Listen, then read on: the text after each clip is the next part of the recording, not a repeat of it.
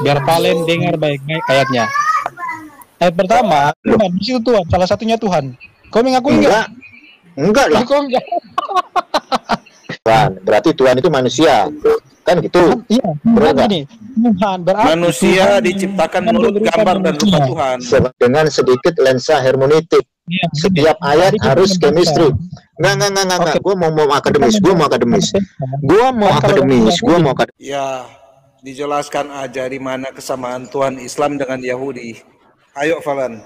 Tadi kamu menanyakan di mana Tuhan menjadi manusia. Eh, Saya balik, manusia itu diciptakan menurut gambar dan temanya rupa Tuhan. apa? Di mana ada literatur Judaism namanya Sefaria.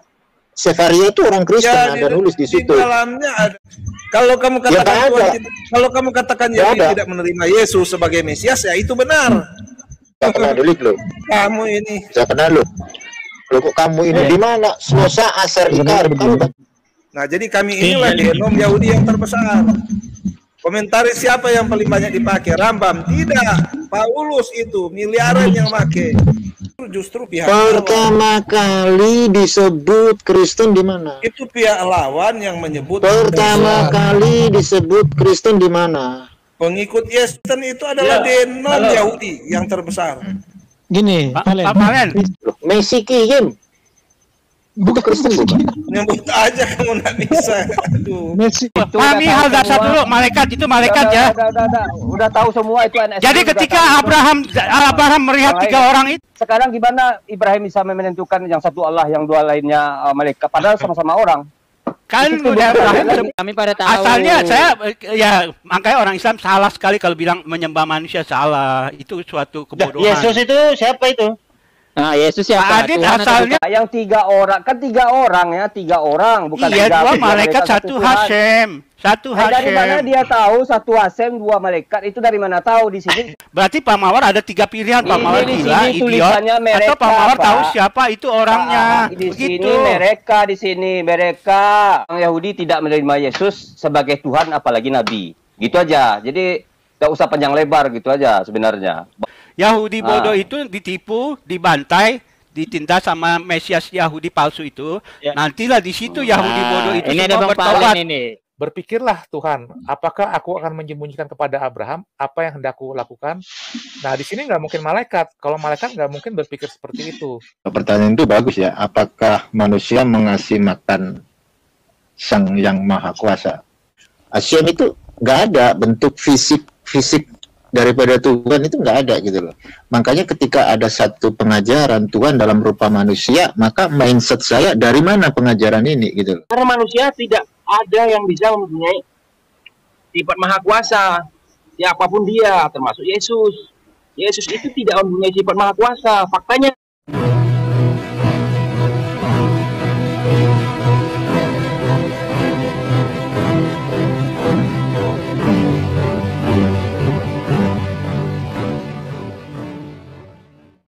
Assalamualaikum warahmatullahi wabarakatuh. Alhamdulillahillazi hadana li hadza wa ma kunna linahtadiya laula an hadanallah. Asyhadu la ilaha illallah wahdahu la syarikalah wa asyhadu anna Muhammadan abduhu wa rasuluh. Puji syukur kehadirat Allah Subhanahu wa taala karena kita masih diberi waktu dan kesempatan berjumpa kembali melalui channel Salam Satu Akidah.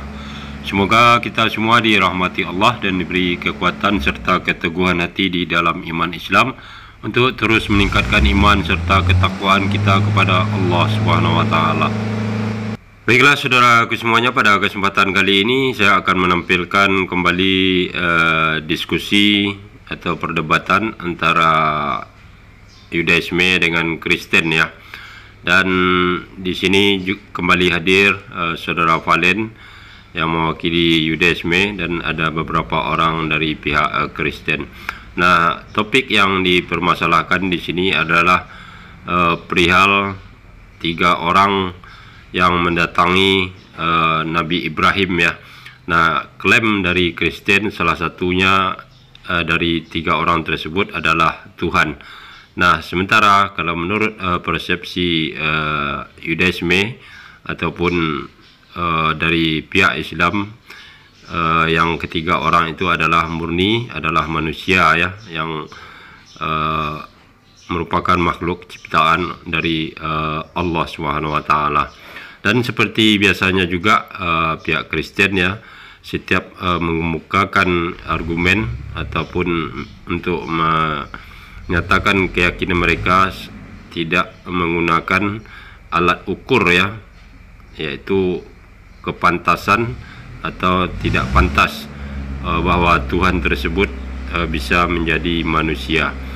Nah, bagaimana nanti keseruannya kita akan dengarkan bersama dan uh, diskusi ini lanjutan dari diskusi sebelumnya yang berlangsung di Jim Media Channel ya. Kita dukung channelnya untuk terus berkembang dan juga channel Islam lainnya kita dukung untuk membentengi umat dari upaya pemurtatan serta penangkalan akidah umat Islam.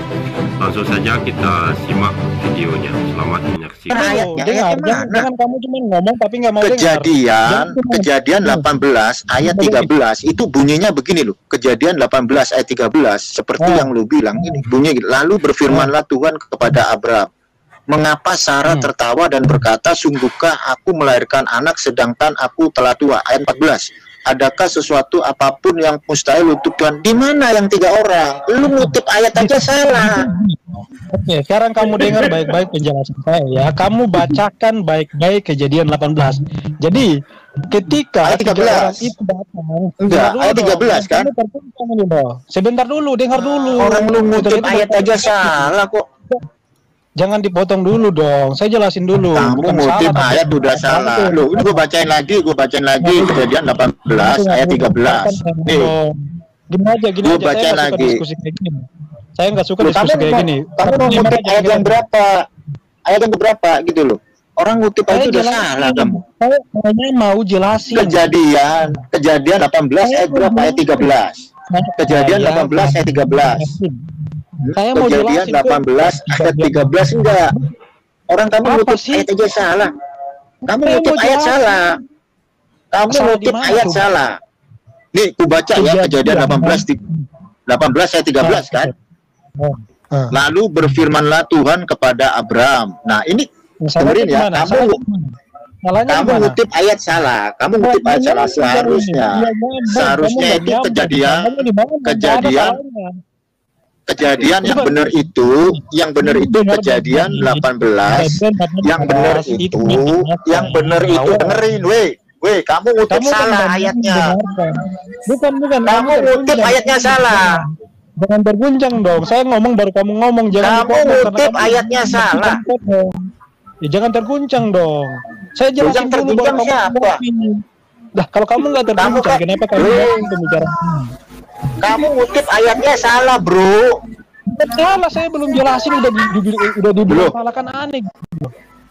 Yang kamu Iya. kutip, yang kamu kutip dengerin dulu.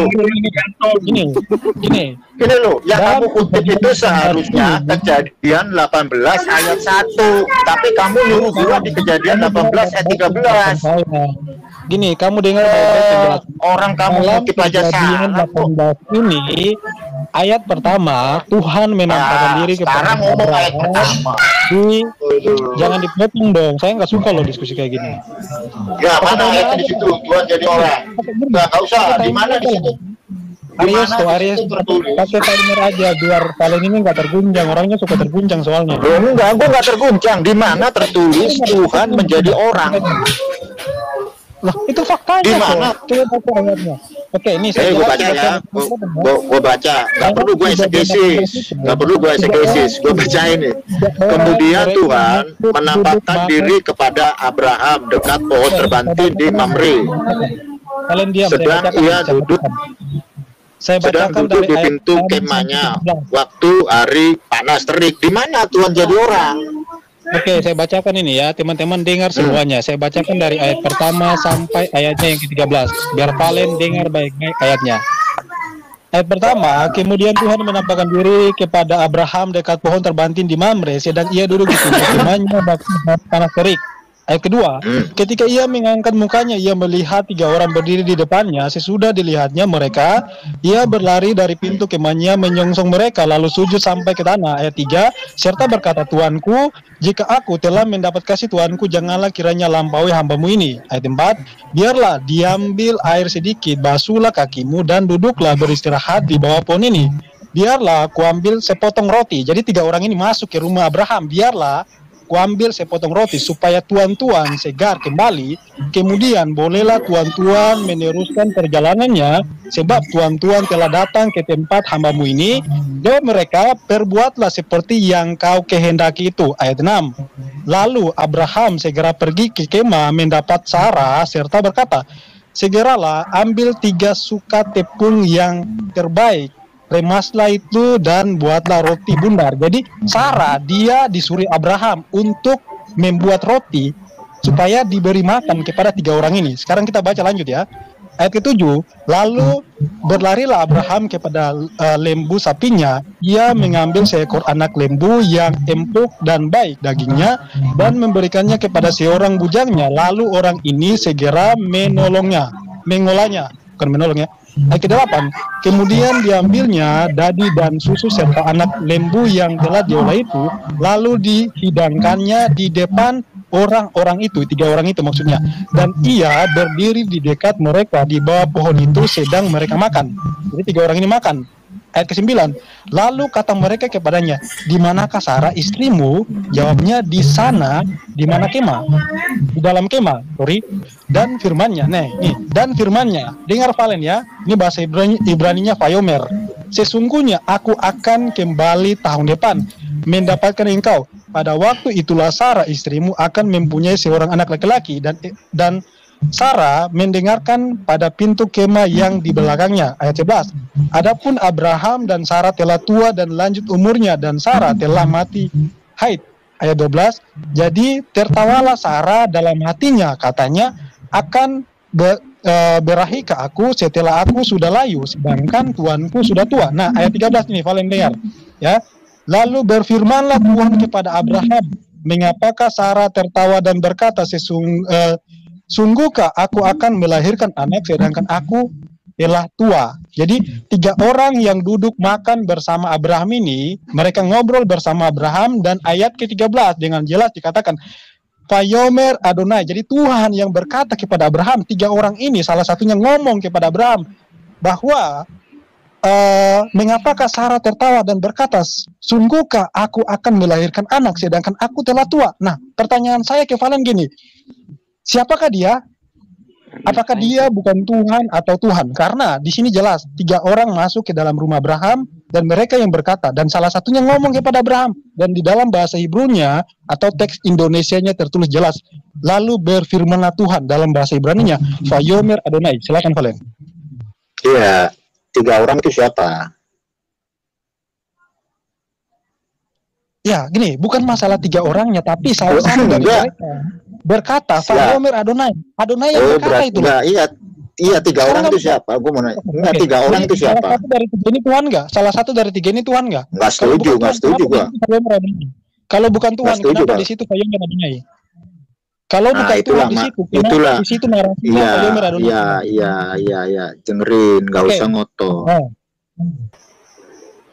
Dalam Jadi bilangan kamu mengakui 20 nggak itu Tuhan, di situ Tuhan, salah satunya Tuhan. Kau mengakui nggak? Enggak. Enggak lah. Enggak. Loh, Tuhan itu orang bukan? Loh, Tuhan itu orang bukan? Oh, kamu nggak mengakui kejadian 18 ini? Enggak lah, orang enggak tertulis di situ Tuhan dalam Ayat rupa 13 orang. gimana? Ayat 13 Itu kan gimana? kamu eksegesis. Bukan, saya enggak Itu kan kamu eksegesis.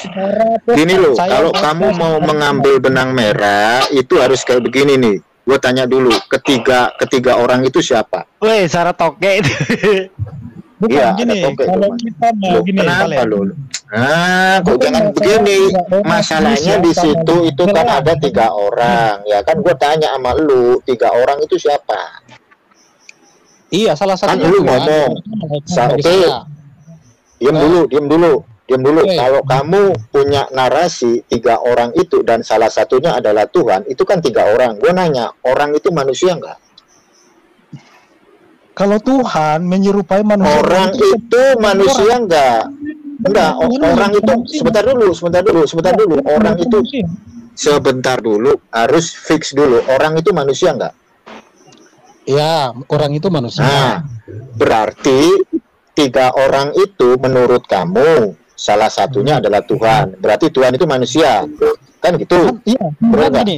Tuhan berarti Manusia Tuhan diciptakan Tuhan menurut gambar dan rupa. Tuhan. sebentar nggak usah panjang-panjang. Kita pakai nggak usah muter-muter Demian.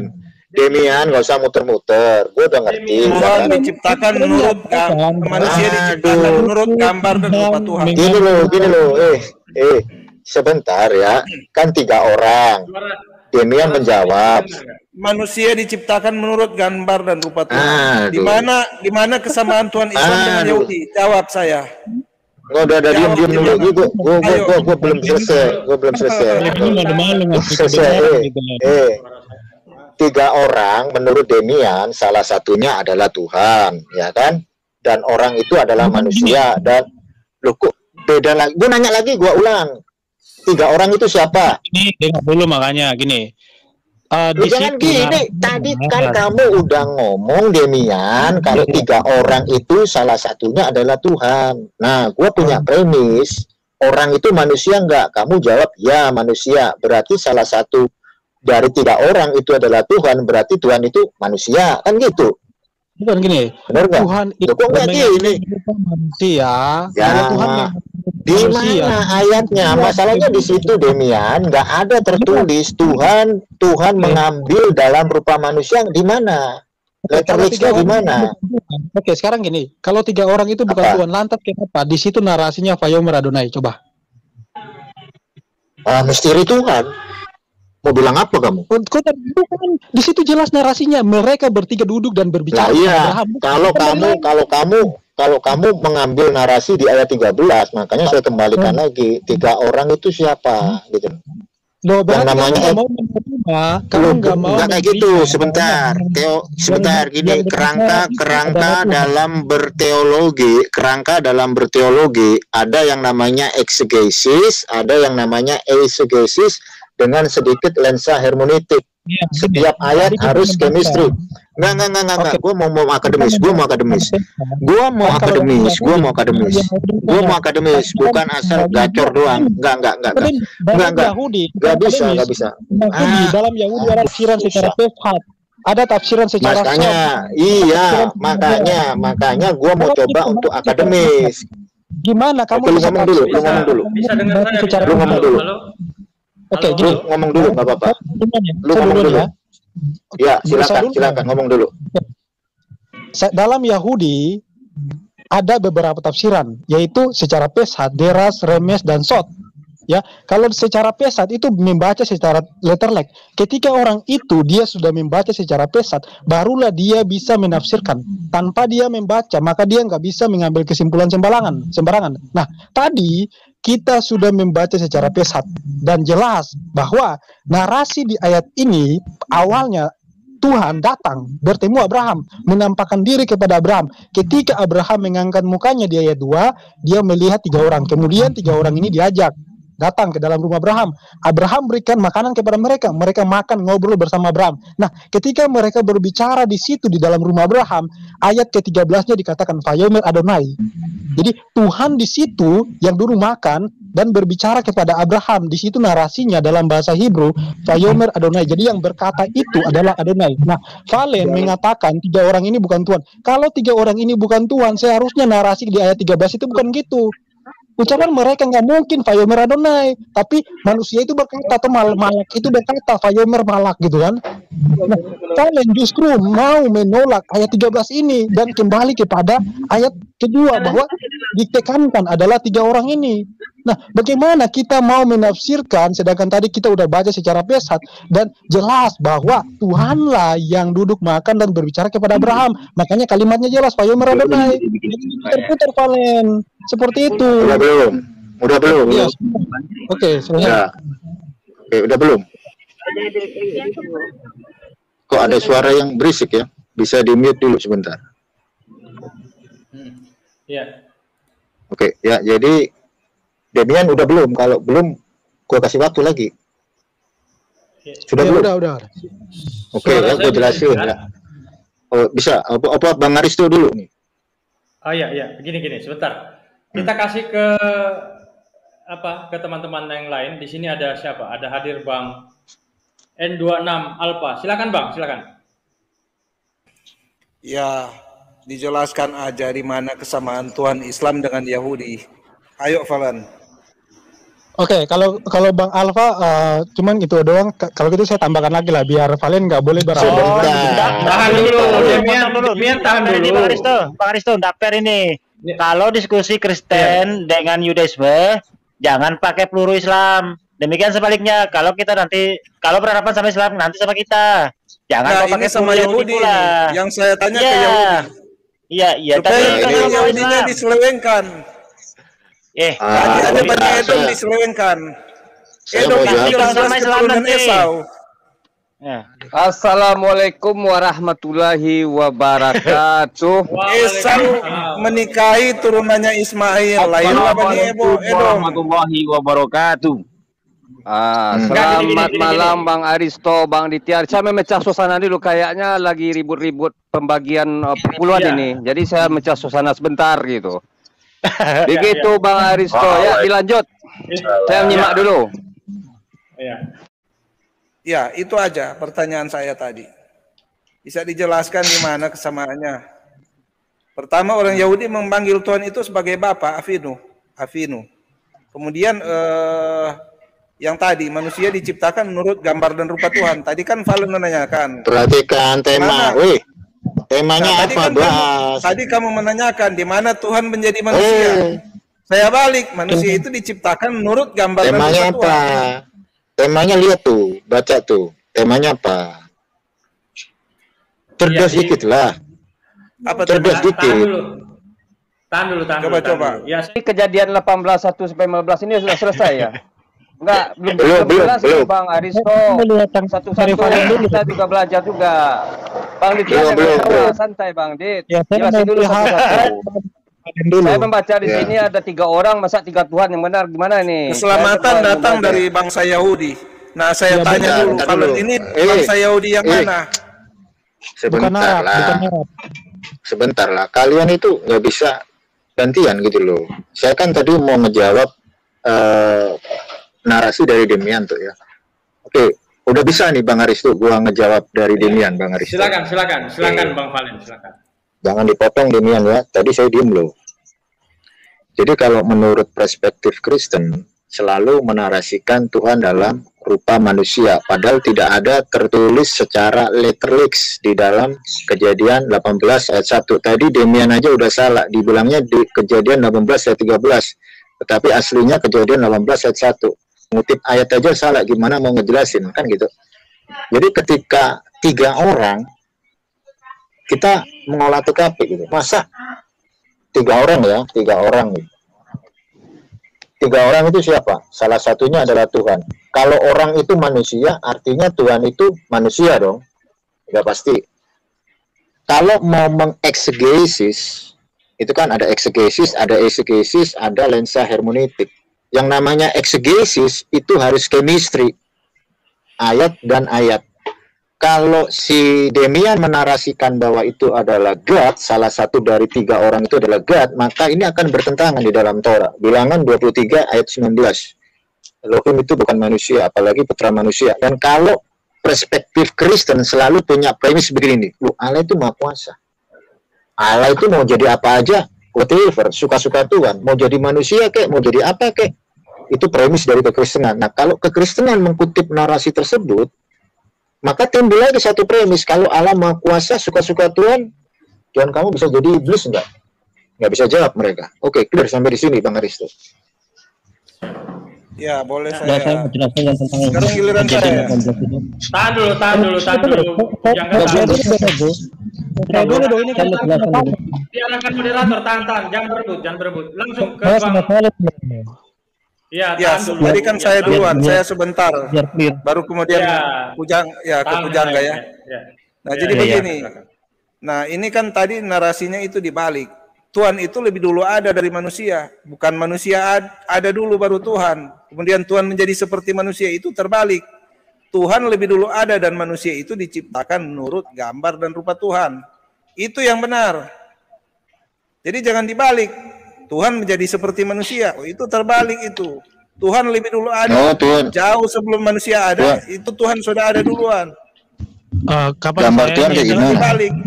Siapa ini? Enggak, gambar gambar Tuhan kayak gimana? Wujud Tuhan kayak gimana dong? Ya, lihat Biar aja saya- manusia. Biar Ya. saya jelaskan Oh, punya. aja dah. Tunggu, tunggu Punya dulu, hal. tunggu dulu saya dong. Manusia Ini saya sama Valen. Saya tanggapi dulu dari Valen. Tahan dulu, Berarti- tahan dulu Bang Demian. Kita, kita kasih waktu juga teman-teman yang lain. Biarkan, kasih waktu. Ya, silakan, silakan. Hmm. Jangan kamu tanya Tuhan itu seperti apa. Loh iya kata lu kan Tuhan gambarnya kayak manusia. Kan manusia diciptakan menurut gambar dan rupa Allah. Gue nanya, gambar Tuhan kayak gimana? Kamu kok malah nanya gambar Tuhan seperti apa? Loh, kamu kan membuat satu narasi Lebih dulu ada manusia, mana? Sebentar, lebih dulu manusia. ada mana? Manusia Nah. atau Tuhan? Ya, Tuhan dong. Kamu kamu selalu Nah. membalik, kamu membalik manusia Loh, eh, Tuhan itu menjadi gimana? seperti manusia. Tuhan menjadi Loh, seperti manusia, membalik? terbalik itu. Ya lu salahin. Demian bukan gua. Tuhan seperti manusia tuh Demian ngomong kok nyalain gua, lu aneh. Kamu Saya kamu tahu. di websitenya orang Yahudi itu ada artikel yang namanya Betselem Elohim. Nah, tuh lu ngomongin Betselem. Manusia manusia diciptakan. Baiklah kita menciptakan manusia menurut gambar dan rupa kita. Gambar manusia itu seperti gambar siapa? Ya gambar manusia itu kan manusia Seperti itu mulia gambar siapa? karena dia segambar dengan Tuhan. Berarti Tuhan itu gambarnya kayak manusia. Dilarang menumpahkan darah manusia karena ada gambar Allah di dalam manusia itu ada di dalam Lah iya, lah iya. Apakah gambar Tuhan itu kayak manusia gitu? Punya kaki, punya mata, punya telinga, punya kuping, Punya Maaf. kelamin. punya Ya, kelamin. Kamu bolak-balik. Lu, lu kok bilang balik? Baiklah kita, kita itu kan Tuhan dalam iman Ya, Kristen. kamu sudah pernah lihat men- Tuhan. Nah, kamu sudah iya, dengerin lihat dulu, dengerin dulu. Tuhan. Ya, Gini loh. Ya, gua jawab menit, satu menit ya. Kamu satu lihat menit, aja dengerin. Yesus. Kamu Ya. lihat Yesus. Ya. Kamu tanyakan Oh, gambarnya seperti apa. Lihat aja Yesus Ya. itu bagaimana modelnya. Nah, Ya. Ya, terus apalagi? Kan ayatnya bunyinya gini. Ayo. Baiklah. Iya, kan Ayo, ayatnya ayo. bunyinya gini. Silakan kamu ngomong dulu. ya kan sekarang gilirannya kamu. Tadi sudah saya jelaskan. Nah, iya, kalau saya ngomong Bahwa kamu diem. itu membolak-balik. Udah, kamu ngomong dulu. Urutannya. Ya, kamu ngomong dulu. itu menjadi manusia. Tuhan menjadi seperti manusia. Itu kan kebalik. Begini, begini, saya luruskan. Itu tujuannya luruskan. menyesatkan loh. Iya, begini Pak, saya luruskan dulu. Tidak ada narasi Bang Valet mengatakan eh, apa tadi eh, Tuhan itu seperti itu tidak ada. Narasi Dia seperti tadi kan itu. di- Ya, dia tadi Iya, kan menanyakan kapan Tuhan Sabar, sabar. kapan Iya. ya, silakan silakan. Sabar, sabar dulu Bang, kasih waktu saya bicara. Yang menarasikan seperti itu Demian, bukan Bang Valen, gitu loh. Jadi Maksudnya kalau Tuhan- seperti Iya. Ya, maksudnya Jadi Bang Valen tidak Saya Bang kira Valen tidak ada. tadi- Saya saya rasa juga dari eh, Bang Demian tidak ada begitu. Malah sebaliknya si Valen itu yang menanyakan, yang menggiring kan, kapan Tuhan menjadi manusia? Kan tidak ada cerita Tuhan menjadi seperti manusia itu terbalik. Itu kan eh, ya kedengaran bodoh begitu. Masa kok Tuhan jadi seperti manusia? Ya. Manusia belum Kalau ada, begitu Tuhan kasih- sudah ada duluan. Kalau begitu kasih waktu Bang Valen menjelaskan. Silakan Bang Valen, jangan dipotong ya. Silakan Ya, Bang. Valen. Hmm.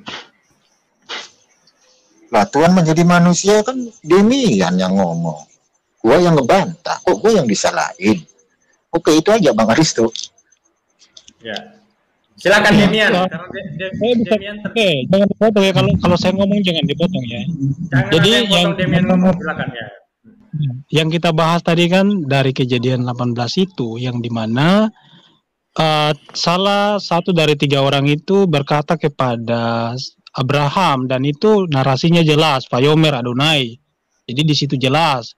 Ya kan, yang saya minta dari Valen adalah kalau memang salah satu dari tiga ini bukan Tuhan, kenapa narasinya di situ bukan Pak Yomer gitu loh? Pak Yomer Adonai gitu kan? Kalau misalkan itu manusia, seharusnya bukan gitu, ya kan? Nah, jadi saya itu tadi kan saya nggak meng- salah mengutip dalil sebenarnya. Jadi saya mengambil dalil 3 ayat 13 itu untuk membuktikan bahwa yang datang tiga orang ini kepada Abraham salah satunya benar-benar adalah Tuhan. Itu untuk membuktikan kepada Valen gitu loh. Nah, Valen harus belajar banyak tentang Yahudi. Kenapa? Karena dalam tafsiran uh, Rabi Yonatan ben Uziel di Yesaya 9 ayat 5 dia mengatakan yang dilahirkan itu yang akan dilahirkan itu adalah Mesias. Ya. Jadi eh, Yonatan ben Uziel dia mengakui bahwa Tuhan akan datang menjadi manusia, ya. Itu tafsirannya jelas dalam kamu bisa lihat buka Sefaria, kamu lihat tafsiran rabi kalian, salah satu rabi besar kalian Yonatan ben Uziel, salah satu raksasa Torah. Jangan lupa, kamu tahu siapa dia, Valen. Ya. Kalau Valen menarasikan gini, Yahudi itu nggak percaya. Faktanya Yonatan ben Uziel percaya. Dia bilang ini untuk Mesias. Mesias akan datang. Mesias akan lahir sebagai sebagai El Gibor, Allah yang perkasa, Sar Salom, Pangeran ah, Damai atau Prince of Peace gitu kan. Itu jelas loh eh, Valen. Jadi narasi kamu ini nggak mewakili keseluruhan keimanan Yahudi. Walaupun di dalam Yahudi itu ada banyak aliran, tapi mayoritas dari Yahudi itu adalah Ortodoks. Dan mereka mengakui itu, ya saya 9 ayat 6, Ortodoks mengakui. Seperti itu. Oke. Ya, Jadi tahan ya ketika satu narasumber ngomong jadi biar biar enak terdengar dan tersampaikan ke para audiens. Silakan Bang Valen. Ya, jadi beginilah. Umat Kristen itu umat yang baik hati, ya, umat yang rajin menabung, suka menolong, tapi mereka dalam problem. Dan problem mereka cukup besar, nggak ngerti Hebrew. Oke, saya tanggapi. Kalau Tuhan itu dalam rupa manusia, kenapa selesai asar ikarim 13 prinsip iman Judaism yang bukunya udah diambil sama Pak Ustadz Nona Kemali, ya, itu pesan sama saya, itu ada selesai asar ikarim 13 prinsip iman Judaism di dalam selesai asar ikarim Tuhan itu bukan dalam bentuk fisik daging. Itu Rambam juga yang nulis. Dan di dalam bilangan 23 ayat 19, Allah itu bukan manusia, apalagi putra manusia. Nggak boleh, ayat itu kontradiksi nggak boleh. Gitu. Kalau dalam perspektif Judaism, tiga orang itu malaikat. Mikael, Gabriel, dan Rafael. Kenapa kok ada nama malaikat Rafael? Artinya apa Rafael? Kalau saya tanya sama uh, Demian. Artinya Rafael apa? Rafael itu penyembuh yang menyembuhkan luka kitan dari Abraham Avinu. Gabriel itu pembawa berita. Mikael itu yang perang di Sodom dan Gomora. Kalau gua compare di dalam New Testament, ketika Miriam dijumpai Gabriel, Gabriel membawa apa? Berita. Gitu. Jadi ayat itu harus chemistry, nggak boleh kontradiksi. Dan untuk Mesias, ngutip-ngutip dari otoritas rabbinik. Mesias itu bukan Hashem. Mesias itu yang diurapi, contoh kayak Raja Saul, Raja pertama Israel, Raja David, itu manusia semua. Nggak ada Mesias itu adalah Hashem. Dari mana gitu. Tidak pernah ada narasi seperti itu. Itu sama aja kamu memfitnah otoritas rabbinik. Bisa kena delik loh. Nggak ada gitu loh. Makanya kenapa Judaism itu tidak bisa menerima konsep Tuhan dalam bentuk fisik daging itu ada di dalam tiga 13 prinsip iman Yahudi jelas. Terus kamu sebagai seorang praktisi Kristen kamu nggak mau jujur gitu. Kalau kamu jujur Bang Palen, kejadian 18 ayat 1 dan 2 kami mengeksegesis kalau itu di dalam pengajaran kami Tuhan dalam rupa manusia. Nggak masalah. Bang Palen nggak ngedebat. Kenapa? Karena itu iman fundamental kamu. Tetapi jika kamu membuat satu narasi, mengambil perspektif Judaism dan pengajaran Judaism kamu selewengkan, bisa kena delik kamu. Urusannya sama undang-undang. Negara Indonesia dilindungi sama undang-undang. Gak boleh kayak gitu. Paham? Lanjut Bang Aristo. Siap. Oke. Tahan dulu, biar saya atur, eh, biar enak tersampaikan ke para audiens. Mungkin ada saudara-saudara kita dari Kristiani, dari eh, Yahudi mendengar juga di sana kan, ini mengedukasi juga untuk semua.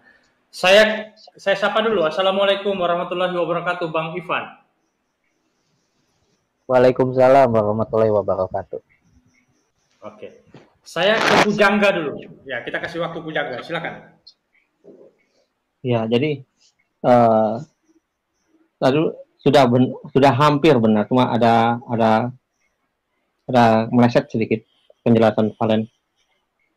Itu tentang Elohim, itu jadi mereka bertiga itu melakim ya sebenarnya. Melakim, melakim itu ada Rafael, Gabriel dan eh Gabriel, Mikael, Rafael dan Gabriel. Jadi ada tiga. Tadi sudah jelaskan Rafael itu penyembuh, yang menyembuhkan dari Elohim, Elohim sang penyembuh. Kalau Gabriel itu eh, Elohim yang perkasa. Terus kalau Mikael itu mirip Elohim. Itu Mika, Mikael. Mika itu mirip. Sebentar, kalau Gabriel bukan Elohim yang perkasa, jangan-jangan jangan dibolak-balik ya. yang diutus Gabriel itu pembawa berita loh. Eh, i- interupsi dulu Bang Aristo, Bang Aristo interupsi sebentar. Bang Pujangga ini mewakili mana dulu ini? Kristen apa Islam apa ya, ya Yudaisme gitu loh, biar enak yang nonton juga nggak pening Bang. Silakan Bang Aristo. Ya. Silakan Pujangga, waktu Bang Pujangga silakan. Ya, anu apa robot ya? Saya dengar. Jadi eh eh, apa namanya tadi sampai jadi yang menyampaikan berita bahwa eh, itu Rafael itu menyembuhkan. Kalau yang menyampaikan berita Sebentar, ini saya luruskan dulu. Kalau kamu kalau kamu keliru ngelurusin, kalau kamu nggak ngerti Judaism bisa kena delik loh. Ya, saya, saya jelasin ini, Bro. Ini saya dapat Iya, jangan jangan sampai kamu memutarbalikkan ajaran Judaism bisa kena delik loh kamu. Enggak, enggak. Nih. Ah, jadi Ya. ada berapa malaikat? Tiga malaikat yang tercatat dalam Alkitab. Tiga atau dua, Valen? Ada tiga atau dua? Nah, Oh, ada maksudnya nama. tiga, dua di Iya, tapi ada banyak kan. Maksudnya, tapi itu termasuk dalam literasi para rabi. Ya kan? Iya. Misalkan seperti Uriel. Uriel itu kan nggak ada dalam Alkitab. Ini cuman misalkan dalam tafsiran-tafsiran itu kan ada. Nah, Gabriel itu artinya eh, apa ya tadi? Aduh, saya saya lihat datanya nih. Gabriel itu eh sorry, Mikael, Mikael itu eh, artinya siapa seperti Allah atau Elohim. Gabriel artinya kekuatan atau kuasa Allah atau Elohim. Rafael artinya penyembuh dari Elohim. Sedangkan kalau ada Uriel di dalam Yahudi itu ada Uriel, Salatiel, Yehudiel, terus Barakiel, Yerem, Yerem, Yeremhel, ya kan? Ada tujuh ini. Nggak, kamu sebentar, kamu ngutip referensi kamu dari literatur Judaism nggak? Iya, dari Judaism, bro. Dari mana referensinya? Nggak bisa Eh, tanya jujur, dari mana? Dari dari Dari mana? Dari Separia, Separia. Nggak, Sefaria bukan literatur Judaism, bisa kena delik kamu nanti. Kamu bisa lihat pembuatan Separia itu siapa, orang Yahudi atau orang Kristen. Sef, gue kasih tahu lu ya, Sefaria di dalam Sefaria itu ada orang Kristen juga nulis di situ. Ya, tapi gini, tapi apa yang saya katakan itu salah nggak menurut Yahudi? Loh, kita ngomongin yang tiga malaikat itu, itu Gabriel, Di dalam Mikael. Ada literatur literatur literatur Yahudi. Ya itu kan ada Misna, ada Sebentar, sebentar dulu. Yang kita omongin, yang kita literatur Yahudi. eh, gue sekarang gini aja, gini aja nih. Di mana ada literatur, di mana ada literatur Judaism namanya Sefaria. Sefaria itu orang Kristen Ya, ada di- nulis di Di situ. dalamnya ada ada Allah, ada Misna itu semua di dibuat oleh siapa Valen? Sama hanya kayak gini loh, gini loh, kok dibuat sama ya sama otoritas Rabi. Nggak ada literatur Rabinik itu Sefaria nggak ada. Kamu keliru. Yang Isinya yang literatur omongin. Yahudi. Lu, Sefaria isinya lah. literatur Yahudi. Gini lu, gini lu, gini lu. Kalau kamu mau ngomong literatur Yahudi, kamu kan Kristen tuh. Saya pahami Anda, saya maklumi Anda. Anda nggak ngerti literatur Yahudi itu ada ribuan, gitu. Kalau lu Ya. ngomongin tiga tiga Tanyakan orang di dalam Sefaria. sebentar dulu, jangan sok ngebantah. Bisa kena delik loh kamu. Gua ini juga diawasin sama Rabi. Gue juga pernah kena peringatan. Lu pikir lu dialog begini enak-enak gitu? Kamu juga bisa kena Konteks delik kon- loh. Fokus Sama, gua juga bisa kena delik. Kembali ke topik. Tiga orang di dalam perspektif Judaism itu kan Gabriel, Mikael dan Rafael gitu loh. Terus kalau kamu mau mengkutip literatur dari otoritas rabbinik yang kredibel, literatur apa namanya kan gitu. Tapi kalau lu ngomongin Sefaria itu bukan literasinya orang Judaism. Kamu keliru. Kenapa? Karena Sefaria di dalamnya orang Kristen juga nulis. Ada di situ komunitas Netsarim. Gabriel, Mikael, Rafael itu akronim dari Gemara. Tahu kamu Gemara apa? Bagian dari Mishnah. Ayo lanjut, Tahu lanjut. saya kalau Jonathan itu dibilang orang Kristen. Jonathan Usiel. Gini, jadi Loh, yang, tadi yang, yang yang bilang Jonathan Usiel Kristen siapa? Yesus aja Gini loh, gini loh Pak, gini loh Pak, gini aja, sebutkan literatur-literatur Judaism yang kamu tahu. Ya tadi kan Demian ngambilnya dari Jonathan. Enggak, Kamu bilang Valen, itu dari Valen, Kristen. tadi saya-? Gini loh, gini loh, kalau kamu kaitan. dari Rabbi, dari Rabbi Jonathan Usiel, kamu bisa cari di situ di mana gitu loh, literaturnya apa namanya. Jangan kamu klaim Sefaria itu literaturnya Judaism. Ya. Enggak, gini. Oke. Nggak Saya- boleh saya- kayak saya gitu. tengahi, Saya, saya tengahi. Saya Gini, tengahi dalam dulu ya. Sefaria itu di situ kan ada langsung ada tafsirannya. Ya. Langsung misalkan Kumpulan seperti literatur lah begitu. Ya, Targum, iya Saya- targum. Itu kan langsung di, bisa Nah. dilihat targumnya itu kan.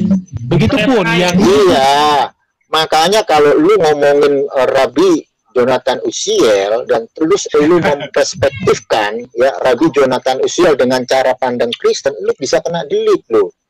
Iya, nah tadi kan saya nggak menyampaikan sesuai dengan pandangan kami sebagai Apa? orang Kristen, tetapi ini Kamu, kamu kan ngomong gini, lu. Eh, eh, sebentar, ini direkam lu. Kamu ngomongin Messias Revelation. Sekarang gimana? Literatur Judaism. Ta- tadi- Semua praktisi Judaism, semua ini saya praktisi Judaism. Kamu kamu Valen bisa Apa? kena delik. Tadi juga Iya, kamu apa? mengatakan orang Yahudi tidak Apa? menerima Tuhan dalam rupa daging. Kalau kamu Ya, katakan Tuhan tidak- kalau kamu katakan Nggak Yahudi tidak menerima Yesus sebagai Mesias ya itu benar. Tapi kalau Tuhan dalam rupa daging kamu baca tuh Yonatan ben Usiel itu ditulis ratusan tahun sebelum Yesus. Nah, kamu bisa eh catat ya, Gitu. Bang Aris tuh nge-live lu. Bisa kena delik lu. Kamu ini Bisa kena lu. Lu kok kamu ini di mana? Slosa Asar Ikarib. Kamu baca nggak Slosa Asar Ikarib? Sebentar dulu, Slosa Asar Ikarib. Sebentar, Yahudi ngomong menerima dulu. Yesus sebagai Mesias. Tapi kalau kamu katakan Ah. Yahudi tidak menerima Tuhan dalam rupa daging, kamu salah. Di mana? Salah Kamu kamu. tahu nggak Yahudi apa? Sekarang gua gua lu, Manusia lu aja dengerin dia. diciptakan nurut Eh, dan rupa Tuhan. Valen, Mesianik Kamu baca percaya nggak? Daniel Valen? 7. Valen, Mesianik percaya nggak? Mesianik Nggak, percaya nggak, nggak, Valen? Sebentar, Itu kamu kan nggak Lu. Nah, makanya kamu nggak dengar narasi saya dari awal. Gue bacain lagi ya dari awal nih. Jangan main-main. Gue ngomong begini, gue juga diawasin sama para rabi. Kalau lu ngomongin Yahudi dalam ranah apa? Teologis apa etnis? Jawab lu, tanya jawab lu, jawab lu. Yang kita bahas ini Yahudi dalam ranah etnis apa dalam ranah teologis? Diam kan kalian kalau gue tanya beginian? Ya, Yahudi yang terbesar sekarang itulah kami. Eh, Sekte Yahudi yang terbesar sekarang itulah kami itu. ya itu kan Kamu mau- klaim kamu. Komentaris itu klaim siapa? kamu. Nah, komentaris yang paling banyak dipakai tulisannya siapa? Komentaris siapa? Saya tanya. Paulus kan? Dulu ya. Ah, dulu. Ya, ya, itu disebut juga Israel Rohani kan ada, ada tul, ada catatan, ada literaturnya begitu. Nah, jadi kami inilah genom Yahudi yang terbesar. Komentaris siapa yang paling banyak dipakai? Rambam tidak. Paulus itu miliaran yang make. Betul, betul, betul. Itu. Ya, sekarang gini, nama bapak ibunya Paulus siapa? Kok lari ke bapak ibu? Oh larinya ke apa? Waduh. Lu katanya Iya, terbesar. Iya harus jelas profilnya, betul itu. Hmm, profil sebenarnya. Nasabnya itu Begini, siapa? begini. Nasabnya harus Ya, jelas. Karena di dalam eh, budaya Semit itu eh, ada tradisi nasab. Nah, coba Ya, nasabnya Paulus itu Tapi siapa? gini. Coba dijelaskan. Tapi gini, Pak, di dalam masa masa percaya aja. akibat semua nama-nama para rabi itu dan orang tuanya dicatat Pak. Misalkan kalau kita lihat Mishnah Torah dalam Torah lisan itu ditulis nama-nama orang yang uh, melestarikan Torah, tapi di situ nggak dijelaskan nama bapaknya siapa. Itu nggak ada. Pak. Begitupun Ah, kamu kena delik lagi kamu. Kamu kena delik lagi. Kamu nggak pernah baca. Kamu nggak pernah baca di Bu, kamu kamu nggak pernah baca di Free Ayam. Lu lu nggak pernah baca di Free Ayam. Itu ada ribuan. Silsilah. Silsilah sebentar dulu. lu. Dari Musa sampai Rambam. Lah iya, sekarang gini, sekarang gini, sekarang gini, sekarang gini, sekarang gini, kalau kalau si siapa itu tadi ngomong Paulus adalah bla bla bla ya. Yesus aja ada silsilahnya. Yesus anak siapa, anak siapa kan ada silsilah di dalam Matius dan Lukas. Sekarang saya nanya, nama bapak ibunya Paulus, silsilahnya siapa? Paulus mengklaim dirinya sebagai seorang Yahudi, punya dua warga negara, Romawi dan Yahudi. Dia dari suku Benyamin. Nah, orang tua Paulus, namanya siapa dari suku Benyamin? Ya gini, itu nggak penting. Jadi 12 murid. Ya udah, ya udah. Gue juga penting, nggak penting. itu penting. Iya, jadi begitu pun Terus dalam dalam tulisan-tulisan para rabi tentang uh, Torah lisan itu nggak ada mereka menyebutkan bapak ibunya siapa ini nggak ada. Dalam Ah, Yahudi pun nggak ada. Gimana? Nggak ada. Kamu kan ngeklaim. buktikan, buktikan. Dari Musa sampai Rambam itu silsilah kelestarian Torah itu ditulis dari Musa sampai Rambam. Tapi Kalau tidak penting, kenapa ada silsilah di dalam Injil Matius dan mereka Lukas? nggak ada. Iya, mereka nggak mereka nggak menulis nama-nama orang tuanya nggak ada. Begitu pun Ya, ada. berarti kan berarti dalam Injil Matius dan Iya, Injil Lukas ada silsilah? itu diperlukan untuk mengkonfirmasi kemesiasan daripada Yesus. Iya. Nah, sekarang sekarang sekarang per- pertanyaannya yang buat Paulus mana silsilahnya? Ayo. Silsilahnya mana? itu itu nggak Tadi kata- kan bukan- Paulus itu diakui sebagai seorang Ya, rabi. Paulus itu bukan jelas. Mesias. Kalau dia kalau dia nggak bukan kalau dia bukan rabi nggak mungkin dia bisa tahu tentang dia bisa tahu para rabi tafsiran tafsiran Aduh, ini kok. Toke. Ya. Kata Toke. Begini. Ini ini begini ini ya. Eh, Bang Bang Pujangga, Bang Bang Pujangga itu feedback. Punya Bang Pujangga keluar dulu baru masuk lagi. Punya Bang Pujangga keluar dulu baru keluar. Sorry, Pak. Ya, Bang- sekarang gini ya. Saya taruh di backstep. Oke, tadi ngomongin rabi ya. Enggak, enggak, dim, dim dulu, dim dulu. Kamu ngomongin rabi ya, kayak sok-sok tau rabi. Sebelum jadi rabi itu jadi talmid enggak? Diem kamu, nggak ngerti, diem makanya. Orang yang jadi rabi, makanya dengerin. Kalau nggak ngerti, dengerin. Orang yang yang jadi rabi, sebelum jadi rabi, dia talmid. Dan dia kalau talmid, berarti dia berye, yesifa gitu. Kalau dia beryesifa berarti dia seorang talmid. Nah, kalau dia mau meneruskan scholar dia dan dia menjadi seorang rabi harus ada apa? Jadi rabi itu harus ada apa? Nggak tahu istri kan? anak istri anak kan punya Gimana? istri punya anak ya kan Nggak, Bu. ya itu itu itu bisa, tapi tapi bukan satu poin yang yang bisa saya katakan fundamental. Tapi itu harus, memang itu harus punya istri harus. Tapi ada yang lebih fundamental dari seorang eh, dari mempunyai istri. Jadi begini ya, saya eh, izin berpendapat ya. Hmm. Saya coba eh, merespon pernyataan dari Bang N26 tadi bahwa di sana menyangkut tentang nama Paulus dengan jumlah Kristen daripada Yahudi yang lebih besar begitu ya, Kristen lebih besar. Ini bukan soal jumlah besarnya. Kemudian gini, kalau kita berbicara dari tradisi Yahudi, maka sudah menjadi syarat penting silsilah di dalam eh, bu- mengikuti budaya Semitik. Nah, sementara kalau Paulus sendiri itu tidak jelas silsilahnya dari mana, dia orang Yahudi atau tidak, ya kan?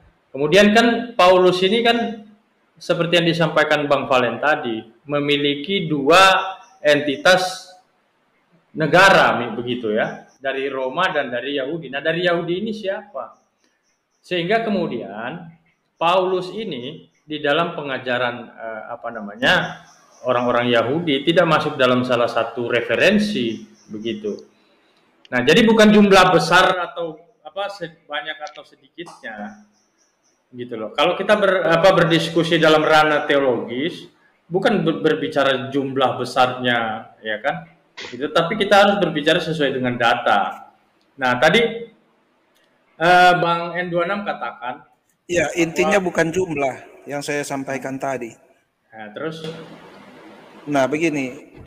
Orang Kristen itu selama 100 satu abad lebih itu masih beribadah di sinagoga, masih menjadi bagian dari agama Yahudi. Sampai terjadi pemberontakan orang Yahudi, kemudian di situ mulai terpisah. Orang Kristen mulai memiliki tempat ibadahnya sendiri. Nah, jadi jelas-jelas orang Kristen itu memang bagian dari agama Yahudi. Nah, Enggak, sebentar dulu. Yahudi. Orang pertama kali orang pertaka, pertama kali disebut Kristen di mana? di Antioquia. Di mana? Nah, ngapain kok ke Yang, sinagoga? yang menyebut Kristen itu bukan orang Kristen, itu justru pihak Pertama kali disebut Kristen di mana? itu pihak lawan yang menyebut Pertama kali disebut Kristen di mana? Pengikut Yesus adalah orang-orang Yahudi yang beribadah di sinagoga yang mengikut Yesus. Itu sudah terbagi Pak. dua. Ada yang menerima Yesus sebagai Mesias dan ada yang tidak. Eksekusi senggopong terus ya. Jadi, jadi jelas. Halo, halo, salam. Aristo. Kristen itu adalah Ya, denon halo. Yahudi yang terbesar. Gini, Pak- Valen. Kristen dan Yahudi itu tahun berapa?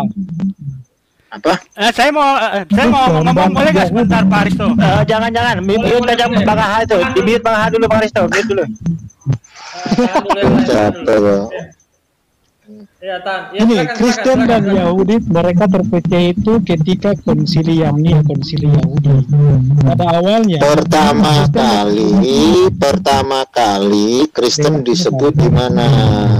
Itu bemo ada awalnya itu loh. Yahudi mereka Ya. itu hidup. Mereka beribadah di tempat Ah. yang sama.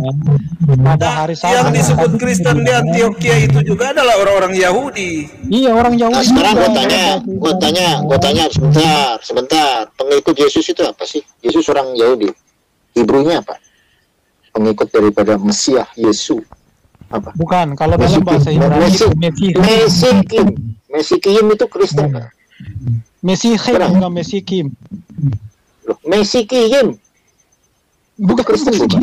Nyebut aja kamu nggak bisa. Aduh. Mesi, ini pengikut Mesias dalam bahasa Ibrani itu Mesihim. Lah iya Mesikim itu kan gue baca Mesikim itu orang Kristen bukan? Orang Yahudi, Pak. Paulus. Lah kan? iya.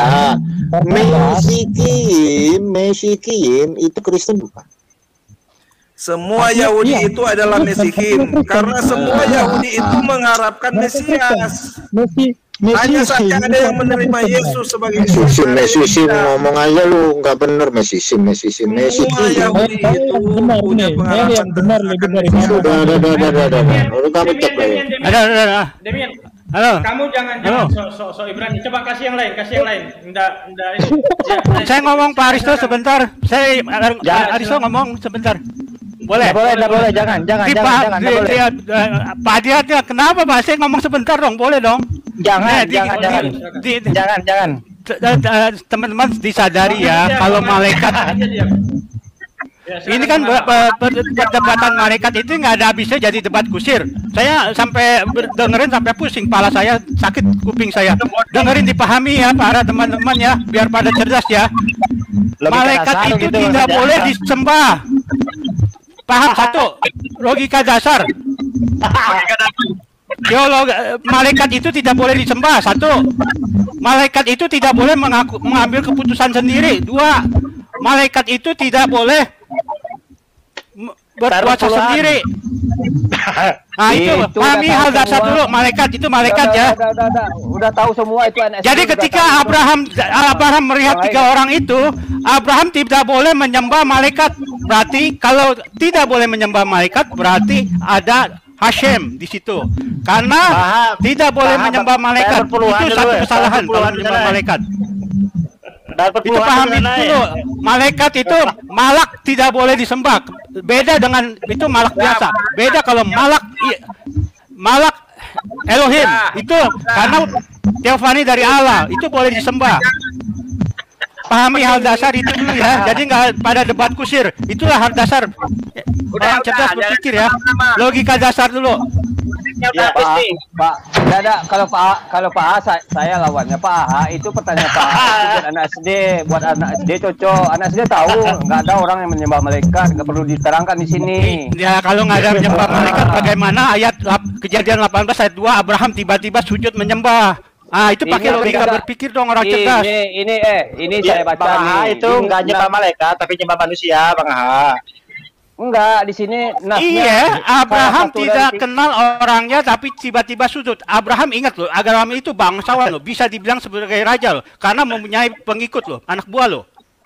Tiba-tiba tanpa kenal, tanpa orang, kayak kayak, kayak Pak Aditya aja, ketemu orang, tiba-tiba Pak Aditya sujud. Mungkin nggak gitu? Itu logika dasar berpikir orang cerdas ya. Itu Tapi, tapi saya, Itu tapi saya nggak dia. manusia loh, Pak. Jadi kalau Tapi saya bukan penyembah menyembah. manusia loh. Hmm. Menyembah itu manusia. kan menyembah, menyembah. itu menyembah. Abraham sujud menyembah. Menyembah Kalau orang. malaikat itu tidak boleh menyembah. Mau malaikat mau manusia tidak boleh menyembah. Itu Abraham sujud menyembah. Dan Abraham katakan eh, kalau aku be- eh, terus malaikat itu kata Abraham ditanya eh, eh, Sodom dan Gomora kalau ada 10 orang boleh gak dihancurin? Abraham Pak. itu bertanya ngomong seperti berarti Abraham Pak. tahu itulah Hashem. Itu cara logika Oh. dasar orang berpikir cerdas. Enggak, Jadi berarti nggak debat kusir eh, begitu. berarti manusia tidak boleh menyembah manusia lah berarti ya. Ya tanya uh, uh, Bang Valen dong yang ngerti Ya. Yahudi. Boleh gak manusia nyembah manusia? Itu berpikirlah logika dasar supaya Ini- cerdas. ini- Jadi jangan kusir. dulu. Begitu satu menolak sini satu. sujud. Malaikat itu sini- begitu tidak boleh disembah. Ini sujud bukan nyembah. Kadang kita sama orang tua juga sujud, Pak. Aha, aduh. Jangan Baca menyembah dengan baca sujud. bahasa aslinya, bahasa aslinya itu sujud Ini menyembah. bahasa Baca aja. aslinya nih, bahasa apa nih? Bahasa Hongkong, bahasa apa nih? Komplit. Bahasa aslinya syaka. Ha. Syaka itu artinya sujud menyembah. Iya, di sini Ibraninya, eh. Ibraninya. Wahid, wahid, wahid, syaka. Apa wahid wahid bahasa Itu artinya Indonesia aja nggak menyembah. Nah, payah, payah, payah. Dengar Pak, Ha, dinasnya ini, dinasnya ini salah satu dari ketiga orang itu menjadi manifestasi maaf, manifestasi Allah dalam bentuk rupa manusia dan orang lainnya adalah malaikat. Sekarang gimana Ibrahim bisa menentukan yang satu Allah, yang dua lainnya uh, malaikat padahal sama-sama orang?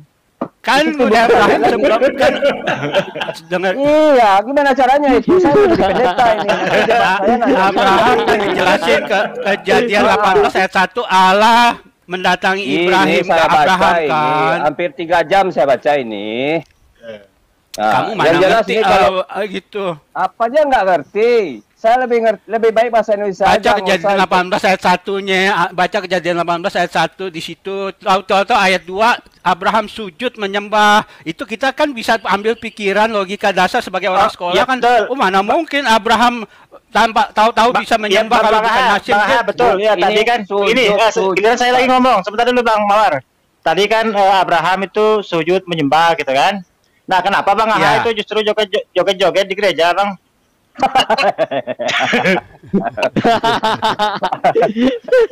Joget-joget karena Iya, dapat iya. berkat dong, dapat berkat. Oh. Joget-joget. Oh, iya, begitu. iya, Karena iya, saya Oh, senang, iya kan, happy, ya, happy. oke. Oh. Oh Happy ya. gitu, ya kan jelas. Nanti dapat jodoh yang cantik, kok. joget-joget kan? Nggak, di, di, teksnya ini nggak ada sujud menyembah, sujud aja apa krom saya yang salah mungkin ya. Di sini sujud aja. Kita juga sujud kan sama berapa orang tua gitu. Ah. Kejadian Syaka 18 ayat itu 1 ya. bahasa Ibrani. Kejadian Kejadian 18 ayat 1 1 sampai belajar biar 15. pinter. Ayat 2 Ah. tiba-tiba sujud menyembah. Kalau itu tiga malaikat tidak Sujud. boleh disembah. Mana sujud menyembah? Sujudlah ia ke tanah. Tidak ada sujud menyembah di sini. Apa Iya sujud salah menyembah, atau- iya ke tanah ya artinya itu bahasa Ibrani-nya sakta, hak syakha itu menyembah ke tanah. Jadi Ah. Oh, jadi kalau menurut sujud ke tanah berarti sujud ke Allah berarti ya menurut pandangan Pak Aha. Iya, sekarang gini, Pak Mawar berdiri ketemu tiga orang, nggak kenal. Ah. Tahu-tahu Pak Mawar Ah, berdiri ah. sujud, sujud, Ah, benar, sujud iya. ke tanah, iya. Ah, Pak Mawar berdiri gila, idiot, Ah. atau Pak Mawar berdiri tahu siapa tiga orang itu, gitu aja. Ah. Iya makanya Itu orang logika orang tidak- berpikir cerdas. Eh, Wis, logika eh, orang Ini bukan logika berpikir cerdas. Logika berpikir. Iya, iya saya tanya, saya nak analogikan, eh, Pak- saya analogikan, Pak Mawar ketemu tiga orang, nggak kenal nih, nggak dengerin dulu, dengerin dulu, dengerin dulu. Saya belajar membangun logika Pak Mawar. Pak Mawar Iya, ketemu tiga boleh, orang kenal nih, nggak kenal nih. dengan Ya, tiba-tiba Pak Mawar Hmm. sujud kepada orang itu. Pak Mawar ini Oke. sujud menyem, kepada orang itu. Pak Mawar gila, idiot, atau Pak Mawar kenal tiga orang itu? Ah, gitu aja Pak. Ya sekarang sekarang gini, sekarang gini, orang ini sujud kok bisa Ibrahim memastikan yang tiga orang ini Tuhan? Karena kan tahu? ah, sebelumnya di ayat sebelumnya Allah Hmm. ber- bertemu Ibra- Abraham. Abraham kan dari Ur Kasdim disuruh Allah pergi ke tanah Ah, perjanjian biar- tanah dulu, Kanaan. dengar Itu dulu, harus biar dibaca dulu konteksnya. biar- biar Semua itu berhubungan. Lebih paham, lebih cerdas Ingas ya. Di bawah ini kan ada nasnya nih. Salah satu dari ketiga orang itu rupanya menjadi manifestasi Allah. Dua orang malaikat. Bagaimana Ibrahim tahu tiga orang ini satu Allah, dua orang malaikat, padahal sama-sama Kan, berbentuk orang? kan ah, sebelumnya udah saya katakan ayat sebelumnya Abraham lidah, Pak. Allah Ah, ketemu Abraham, Abraham disuruh pergi dari Ur Kasdim ke Kanaan. Artinya Abraham sudah kenal. Makanya saya kasih analogi eh, kepada Pak Mawar. Pak Mawar ketemu tiga orang, tiba-tiba Pak Mawar sujud. Pa- ada tiga pilihan, Pak Mawar gila, idiot, atau Pak Mawar kenal tiga orang itu siapa. Gitu aja. Imajinasi. Gila, idiot. Bang, Eh, eh, itu kalau analogi Abraham mudah itu- dipahami supaya mudah dipahami supaya cerdas. Iya, iya. Bang Aha, iya. Bang Aha, logika dasar katanya kan. Abraham itu nyembah Yesus enggak, Bang Aha? Abraham nyembah Ah, Yesus. itu dia. Hmm, Ya, iya. benar, benar, Nah. benar. Ini Tuhan Ya. siapa? Yesus atau siapa ini? Ya siapa Tuhan Abraham? Ah. Khusus buntu atau siapa? Tuhan Abraham bernama El, El yang mengenalkan El diri apa? dalam nama Abraham. eh, akulah Allah Abraham, Ishak dan Yakub. Itulah El. El Oh, mengenalkan bukan- diri dalam nama Ya. YHWH. YHWH itulah men- itulah Yesus. Gitu. Oh, jadi El itu jadi Yesus gitu ya? El jadi Yesus gitu. Berapa tahun kemudian? Kalau nggak salah Abraham sama ke Isa, eh, Yesus ini jauh ya dari kalender dua sekarang sih mas 2000 2000 tahun kan? 2000 tahun kan? Masih Maksudnya Y- Yesus. YHWH itulah Yesus. Maksudnya. Saya nggak tahu YHWH, saya nggak tahu yang jelas yang tertulis di kitab Pak Aha aja gitu. Jangan YHWH LL apa. Saya Jelas aja jelasin. kapan Yesus Yes, itu ini Bapak Tuhan trans- transenden. Terima Oke, kasih. Bapak. Bapak oke, saya terima boleh, oke. Ah. Apakah Bapak itu Yesus? Bapak mengenalkan diri dalam nama memperkenalkan Yesus. Diri. Oh, bar oh gitu.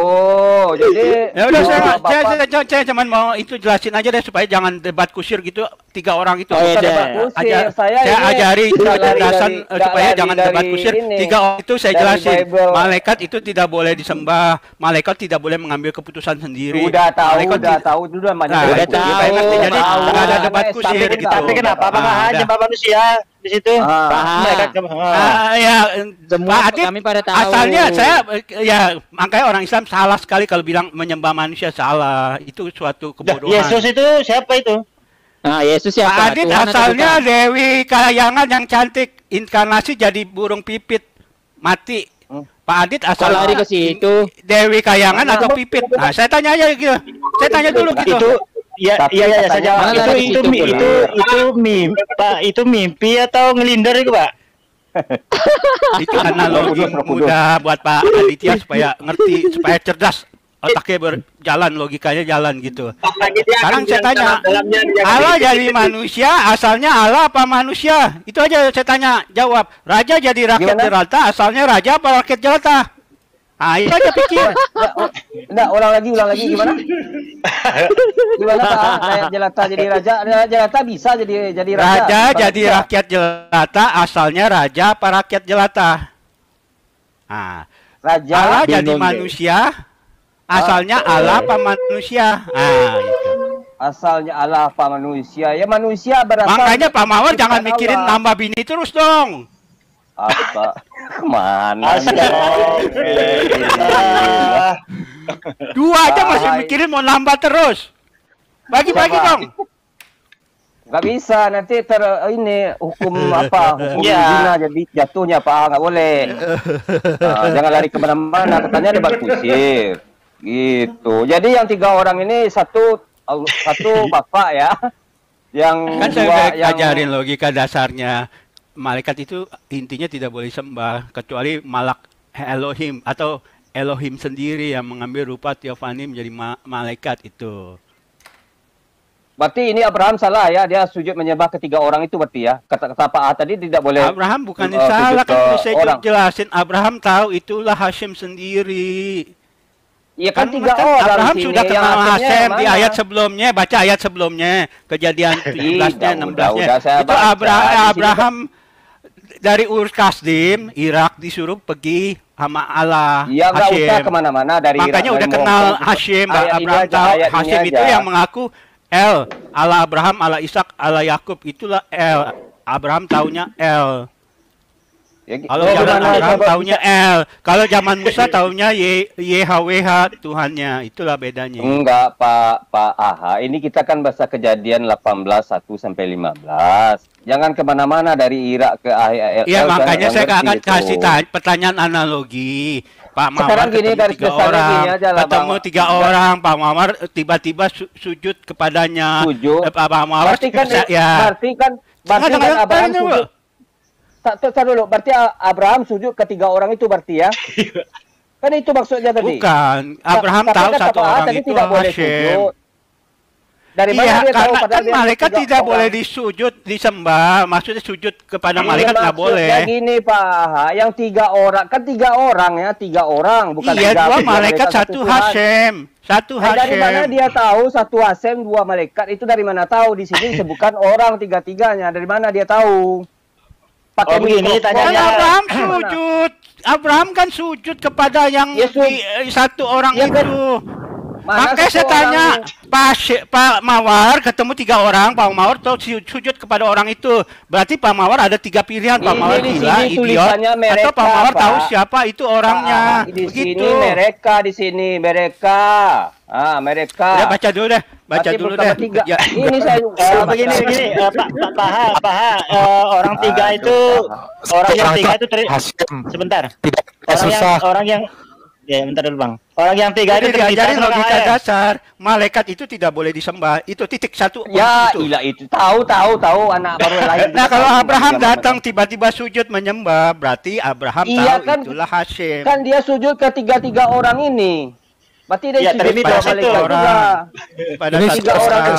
Dia bicara pada satu orang, yang Dua dua orang orang diam malaikat, aja. satu- Makanya yang satu, satu. yang satu, dia bicara pada satu orang yang sat- satu orang yang katanya eh, bolehkah 10 Yang orang kalau ada yang benar jangan dimusnahkan. Nah, itulah Hashem itu bicara Abraham Ini bicara kan pada Hashem. mere- Ya, ini baca ayatnya itu- dari Udah Iya, saya baca baca, saya bolak-balik bacanya, hampir Eh, Ethernet saya- Abraham. kelihatan nggak? Saya share kelihatan nggak di, di Wah, belum belum belum belum Kayaknya sepertinya Muslim Kak, supaya pintar ya belajar logika berpikir logika dasar di apanya yang pintar Pak? Apa Gimana aja Pak? Mereka pintar? Satu sama satu. baca ayat Ka- karena ayat-ayat Alkitab semua itu berhubungan tidak bisa dipisahkan. Seperti Ah, jadi gini, gini, gini, gini, gini, gini, Pak, Pak, gini, gini, kesimpulannya ya kan kita sebagai Muslim nih, yang ini kan ada uh, proteksi Yahudi sama Kristen. Jadi jelasnya begini aja, jelasnya begini aja, orang Yahudi tidak menerima Yesus sebagai Tuhan apalagi Nabi, gitu aja. Jadi Tidak usah panjang lebar gitu aja sebenarnya. Walau dipaksain mau jungkir balik pun ya tetap aja begitu. Yesus tidak bisa bisa di tidak terima sebagai Masias sebagai, sebagai orang Yahudi. Gitu aja kesimpulannya saya, Saya tengok ngomong sama Bang, kan. saya udah ngomong sama Bang mereka Valen. denial. Mereka denial. Saya udah ngomong sama Bang Valen, sorry ya Bang Valen sekali lagi saya ngomong di antara sini ya sekali lagi ya. Yahudi ada dua, Yahudi bodoh yang belum menemukan kebenaran, Yahudi pintar yang sudah menemukan kebenaran. Ya. Yahudi bodoh itu.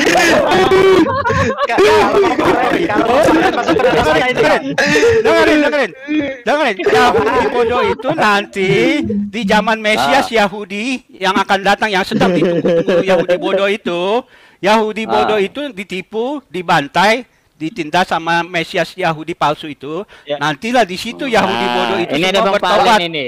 Bertobat. Bang Ha, Bang Bang mau bertobat. Bang Ha. Mengakui Yesus sebagai Mesias mereka Bentar yang dulu, sejati yang sebenarnya. tadi ya, kayak Nah. multi ini kenal potnya rusak dulu. Bang Palen ini eh, Yahudi pintar apa Yahudi bodoh Bang Ha? Yahudi bodoh yang belum menemukan kebenaran. Ampun dah Pak. Oh, Sorry ya Bang Valen ya. Iya iya ya pengertian Iya dari kemarin-kemarin saya udah ngomong begitu. Nggak Oh, nggak nggak gitu kuat ya. gua. Eksegesis Sunggokongnya tinggi banget. Bom bom. Ini ada ada doa Itulah ada eh, bukan eksekusi tunggu Tong.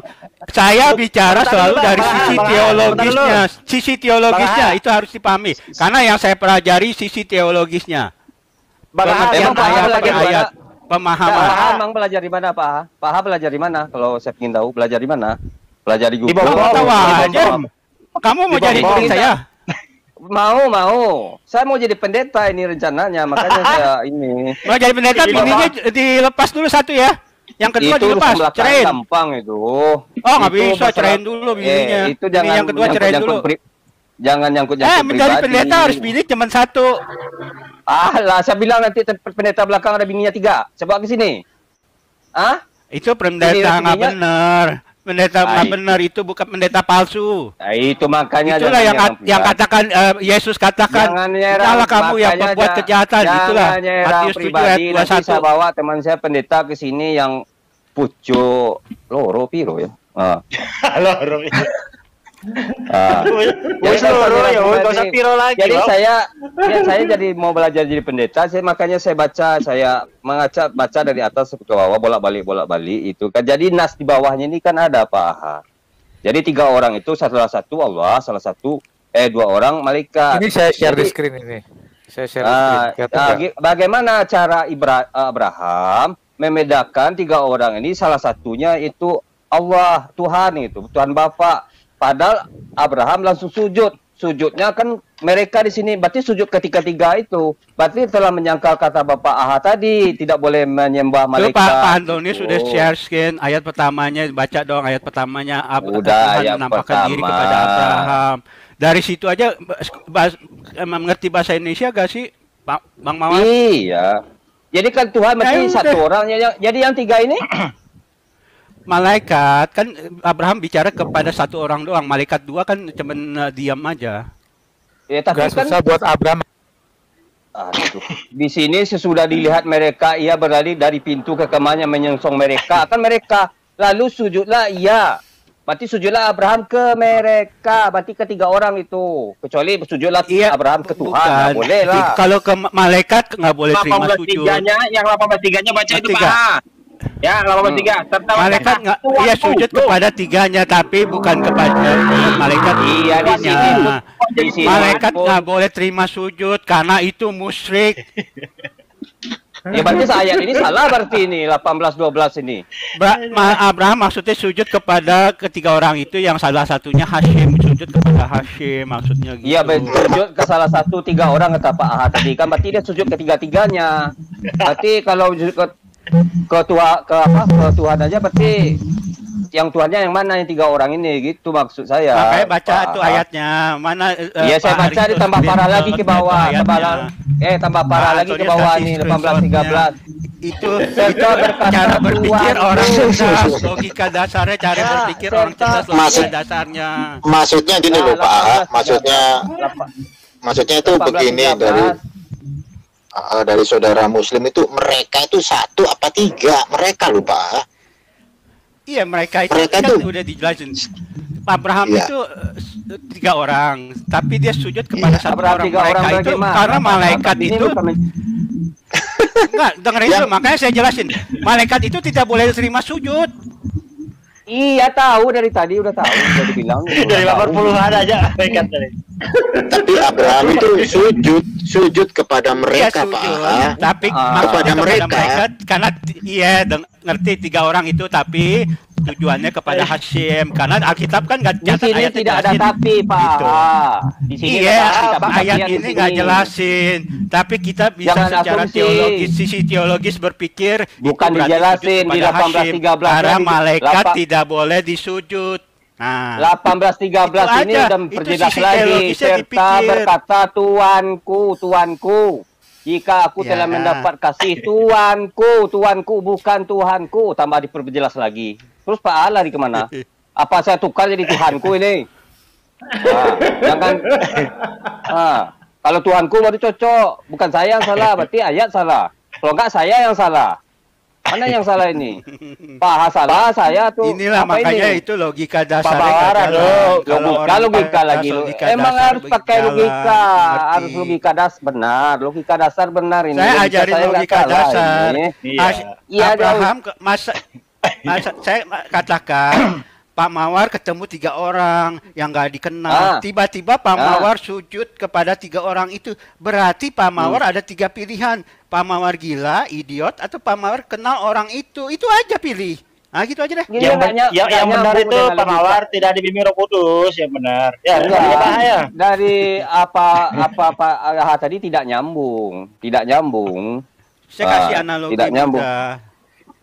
Saya bicara Tidak dari nyambung. sisi teologisnya. Dia bikin analogi paham. ribet kali, pening awak jadi eh. Ya karena eh, Susah. Jadi kalau tambah saya baca ke bawah makanya tambah supaya ah, cerdas belajar logika dasar. Ayat-ayat itu Nah. dipelajari, dipahami, Yang dipahami dulu logika dasarnya Ini- apa enggak gitu. Logika dasar Tahan yang tadi Pak. nggak boleh menyembah malaikat. Padahal kita udah Ya, tahu. tahan. ya. Iya, silakan Bang BBS official. Iya, saya belum tahu tuh ayatnya yang di mana itu. Bisa ditampilkan Bang Aristo. Coba. Saya coba tampilkan bisa. Ah, boleh, boleh. Silakan. Kejadian 18 ya. 1 sampai 15, Bang. Ya 1 sampai 15. Kejadian 18 1 sampai 15. Udah ditampilin belum? Oh, saya bacakan aja ya. Ya, kelihatan nggak? Saya, sampai- saya sudah share. Belum, Kelihatan belum ya? Oh, belum ya? Belum belum belum belum belum. Saya sudah share sini, udah masuk ke dalam sharing. Apa mungkin butuh waktu ya? Atau saya coba baca aja ya. Nunggu itunya tampil ya. Iya, Bang silakan. Ayat- belum buka. Ayat 1 sampai 5 ya. Sampai 15, 15. Bang. Ah, bang, 15. Bang Bob. Panjang juga nih, tapi nggak apa-apa lah kita baca ya. Jadi kejadian 18 ayat 1 kemudian Tuhan menampakkan diri kepada Abraham dekat pohon Tarbantin di Mamre. Sedang ia duduk di pintu kemahnya waktu hari panas terik. Keti- Ketika ia mengangkat mukanya, ia melihat tiga orang berdiri di depannya. Sesudah dilihatnya mereka, ia berlari dari pintu kemahnya menyongsong mereka, lalu sujudlah ia sampai ke tanah. Ya, serta berkata, Tuanku, jika aku telah mendapatkan kasih Tuanku, janganlah kiranya lampaui, lampaui hambamu ini. Biarlah diambil air sedikit, basuhlah kakimu dan duduklah beristirahat di bawah pohon ini. Biarlah ku ambil sepotong roti supaya tuan-tuan segar kembali, kemudian bolehlah tuan-tuan meneruskan perjalanannya. Sebab tuan-tuan telah datang ke tempat hambamu ini. Jawab mereka, perbuatlah seperti yang kau katakan itu. Lalu Abraham segera pergi ke rumah mendapatkan Sarah serta berkata, Segeralah ambil tiga sukat tepung yang terbaik, remaslah itu dan buatlah roti bundar. Lalu berlarilah Abraham kepada lembu sapinya. Ia mengambil seekor anak lembu yang empuk dan baik dagingnya dan memberikannya kepada seorang bujangnya. Lalu orang ini segera me- mengolahnya. Kemudian diambilnya dadih dan susu serta anak lembu yang telah diolah itu lalu dihidangkannya di depan orang-orang itu. Dan ia berdiri di dekat mereka di bawah pohon itu sedang mereka makan. Sembilan, lalu kata mereka kepadanya, di manakah Sarah istrimu? Jawabnya, di sana, di dalam kemah. Dan firmannya, sesungguhnya aku akan kembali tahun depan mendapatkan engkau. Pada waktu itulah Sarah istrimu akan mempunyai seorang anak laki-laki. Dan Sarah mendengarkan pada pintu kemah yang di belakangnya. Adapun Abraham dan Sarah telah tua dan lanjut umurnya dan Sarah telah mati haid. Jadi tertawalah Sarah dalam hatinya katanya akan birahikah aku setelah aku sudah layu sedangkan tuanku sudah tua. Lalu berfirmanlah Tuhan kepada Abraham, Mengapakah Sarah tertawa dan berkata, Sesungguh, sungguhkah aku akan melahirkan anak sedangkan aku telah tua? Adakah sesuatu apa pun yang mustahil untuk Tuhan? Pada waktu yang telah ditetapkan itu tahun depan, aku akan kembali mendapatkan engkau. Pada waktu itulah Sarah mempunyai seorang anak laki-laki. Lalu Sarah menyangkal katanya, Aku tidak tertawa sebab ia takut, tetapi Tuhan berfirman, Tidak, memang engkau tertawa. Begitu ya. Itu ayat 1 sampai 15 ya. 16-nya 16, 16, 16. Lalu berangkatlah orang-orang itu dari situ dan memandang ke arah Sodom. Dan Abraham berjalan bersama-sama dengan mereka untuk mengantarkan mereka. Itu ayat 16-nya. Iya. Terus eh, gimana eh, kawan-kawan? Apanya yang mau ditanyakan ini tentang ayat ini?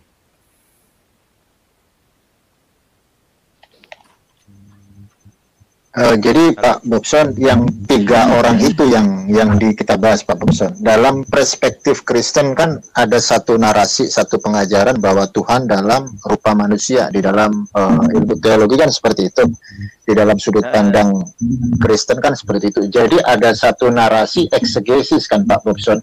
Ada satu pendekatan dari Bapak Gereja untuk mentafsir ayat tersebut sesuai dengan iman fundamental kekristenan bahwa Tuhan dalam rupa manusia dan kalau kita melihat dari kacamata Judaism, di dalam ajaran Judaism, di dalam 13 prinsip iman Judaism kan tidak ada narasi Tuhan dalam bentuk fisik daging. Nah, tetapi mereka ini memaksa gitu loh, memaksa dan nggak mau jujur kalau di situ ada tafsir gitu loh Pak Bobson. Jadi kalau misal uh, uh, uh, uh, kalau Kristen Kristen yang dia jujur, memang di situ ada satu konteks eksegesis dengan lensa hermeneutik untuk mentafsir gitu. Sebenarnya nggak ada masalah kalau kalau Kristen mentafsir ayat itu karena Old Testament itu juga kitab yang dipakai orang Kristen. Jadi pendekatan dari ayat itu supaya bisa chemistry dengan Tuhan dalam rupa manusia artinya uh, para teolog kan mentafsir kan kayak gitu Pak Bobson. Iya, iya, betul. Nah, kalau mentafsir, gua nggak akan itu, nggak akan ngebantah gitu loh, karena itu sudah menjadi historis. Iya, iya, iya. Kalau menafsir, betul.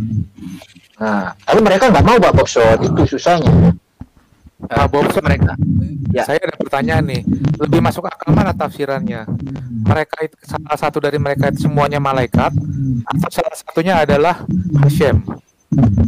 Berdasarkan alur cerita dari ayat 1 sampai ayat 17 tadi yang dibaca. Ih, kalau Tapi di sini tetap jatuhnya kan tafsir ya. Iya, tafsir. Ya, tapi jatuhnya. yang masuk akal tafsirnya? begitu. Sebenarnya kalau ini eh, kalau menurut saya ya, ini tafsir begitu. Nah, kemudian kalau menurut saya tafsirnya ya ketiga-tiganya ini tidak ada Hasem di situ. Itu namanya Bapak bernafsir juga, Pak. Kan udah dijelasin. Lah iya, tadi kan dibilang ah, Tafsir, Pak. Bener-bener Pak. Ini itu kita harus mengerti dong. Bukan Tadi kan saya udah bilang itu tafsir. Kan saya udah jelasin. Malaikat itu tidak boleh disembah. Orang Yahudi, Bani Israel juga percaya nggak boleh. Itu musyrik. Itu dipahami Jadi dulu begini, situ, Pak. begini, Dan di situ eh, ditulis. Malaikat itu tidak bisa Kalau- mengambil keputusan sendiri Betul, dan berkata betul. aku, aku akan nggak boleh. Itu dipahami Iya, dasar malaikat dasar dulu. itu malaikat itu tidak punya kehendak. Ketika malaikat bicara, katakan dia mengatakan aku, tapi itu yang dia maksud itu adalah firman Tuhan. Nggak boleh Semua mana yang ada keluar malaikat bilang yang keluar dari mulut bisa. Malaikat punya kehendak dong, Pak. Punya punya kebebasan untuk memilih. Sama Iya, sama katanya memilih. malaikat Tapi eh, malaikat bisa berkata sesuatu- aku nggak boleh. Malaikat nggak boleh bicara pribadi pak. Selalu malaikat berkata Allah yang mengirim Hashim yang mengutus. Nggak boleh bicara pribadi pak. Berarti pak bapak nggak ngerti malaikat ya saya Mas, itu sebelumnya saya malaikat pak.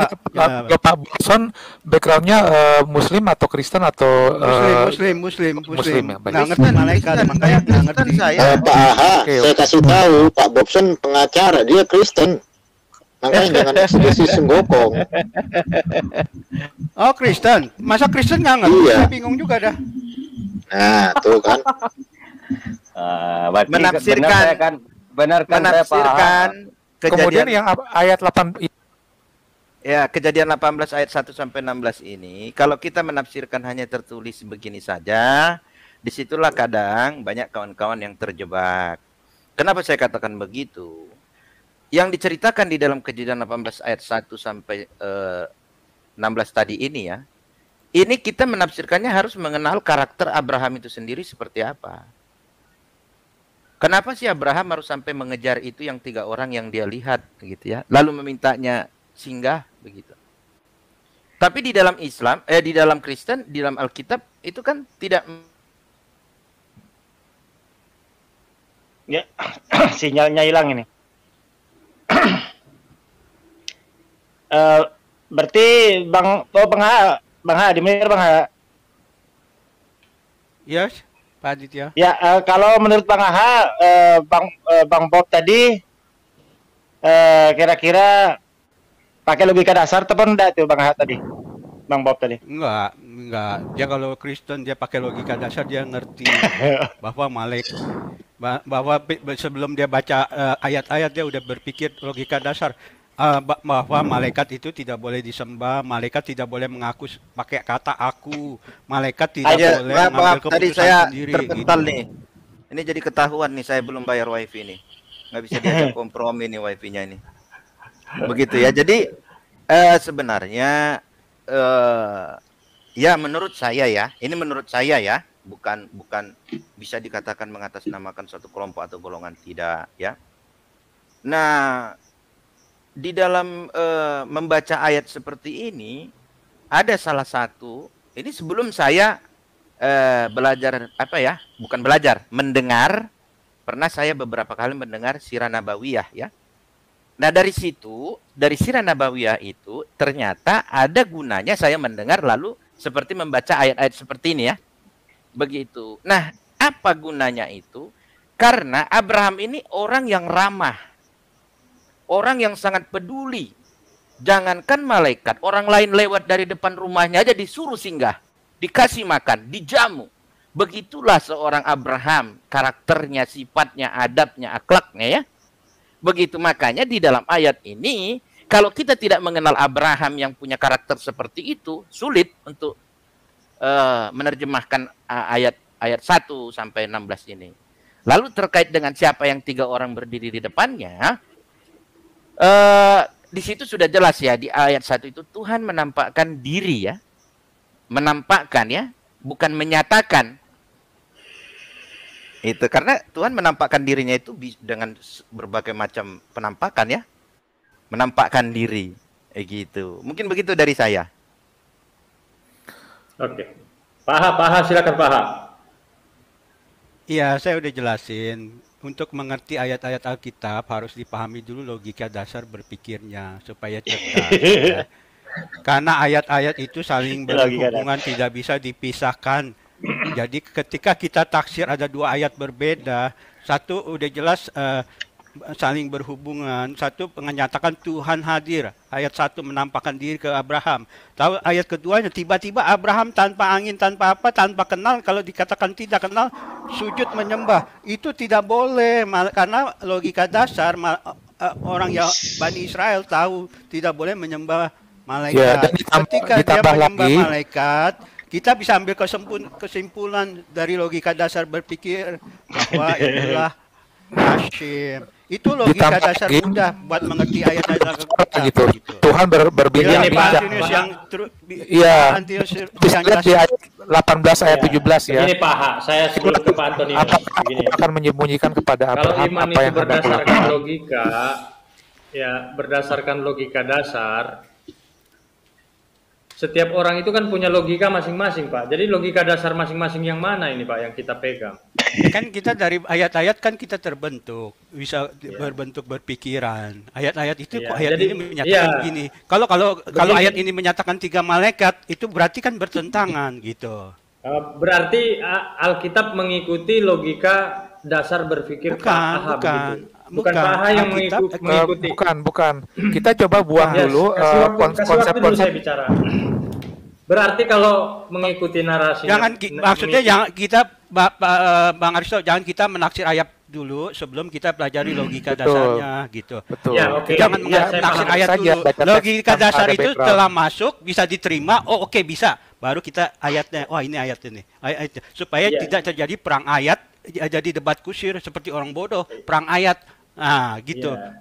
Seperti Ya, Ba- ya. Pak Aristo tanya, mana bukti Yesus Tuhan? Nah, saya nggak nggak ngomong jelasin dulu Yesus Tuhan. Saya jelasin Allah jadi manusia, makanya Yesus sebagai manusia lemah, tidak bisa apa-apa, mengaku hamba, mengaku utusan, diutus, berdoa, menangis, menderita, kelaparan, kesusahan, tidak maha Nanti tahu, dulu, tidak maha itu itu istilahnya Ya, begitu ya, dijelasin logika dasar dulu supaya Ya. jangan jangan nanti tanya eh, eh, mana bukti Yesus ah, Tuhan dan Allah nih saya buktikan dari kuasanya oh buktinya Yesus eh, berdoa nah itu kan balik lagi ke logika dasarnya ditabrak lagi kayak seperti orang bodoh kan udah Ya, jelasin oke. awalnya Saya- nah gitu Saya mengerti. Kalau kalau begitu kasih waktu saya bicara Pak Aha. Ya, saya mengerti analogi yang Pak Aha sampaikan. Cuman kalau kalau kita mengikuti narasi Pak Aha, artinya eh, ayat-ayat Alkitab mengikuti logika dasar berpikir Pak Aha. Ya kan begitu? bukan bukan dari baca bukan kan kita lagi. bisa bi- bisa kita baca ayat nih oh kok ayatnya berkata begini nih oh logika dasarnya Bentar apa dulu, nih Begini. Misalnya Ya, yang saya gini, saya mau- kasih contoh. Misalnya saya kasih contoh. Tuhan Maha Kuasa, ya kan? Hmm. Ah, istilahnya kan begitu. Berarti Tuhan Maha Kuasa. Eh, kok Tuhan eh, bisa mati? Nah, kita cari logika dasarnya. Karena Tuhan menjadi manusia, makanya bisa mati. Itu pik- itu logika dasar dibangun, gitu. Ya oke oke, saya saya terima. Nah, gini gini Pak. Logika dasar seperti apa Tuhan bisa mati Pak? Jadi gini, maaf ya. Kalau kita mengikuti logika dasar, prinsip keimanan itu harus bersandar pada logika dasar seperti yang dinarasikan oleh Pak Aha. Setiap orang itu punya logika dasar sendiri Pak. Tidak sama seperti logika Pak Aha. Berapa juta, ber- Kan berapa juta kan, miliar orang, kan orang Kristen. logika dasarnya dilihat dari dari ayat-ayat ya kan kita baca ayat-ayatnya pak makanya kan ada ayat-ayat ya, katanya Tuhan maha kuasa kok ini Tuhan mati nah kita cari kenapa gitu oh Nah, kita ambil gini, Co- kesimpulan logika dasarnya Tuhan jadi manusia karena jadi manusia ya bisa mati gitulah pak ngerti gak pak. Paham nggak Saya pak boleh Ngerti bicara. saya. Nggak ngerti. pak, pendapat- pak ya, silakan Pak Antonis yang jelasin dah Iya, kalau Oke, saya melihat silakan, logika Pak Antonis. dari, Ya. ya terima kasih. Saya melihat logika dari Silakan, Pak berdasarkan teks aja. Ya, jadi kalau Pak kita Antonius ikutin yang mana teks, nih yang punya channel ya? eh Antonius aja sih. Yang nama channel Anto- Antonius siapa begitu? Antonius doang kali bang. Antonius doang Oh, betul, beda. Antonius doang. Ya beda pak. Berarti berbeda. Tapi Ya. malu-malu ini ada Luna Maya siapa ya? Luna Maya, halo.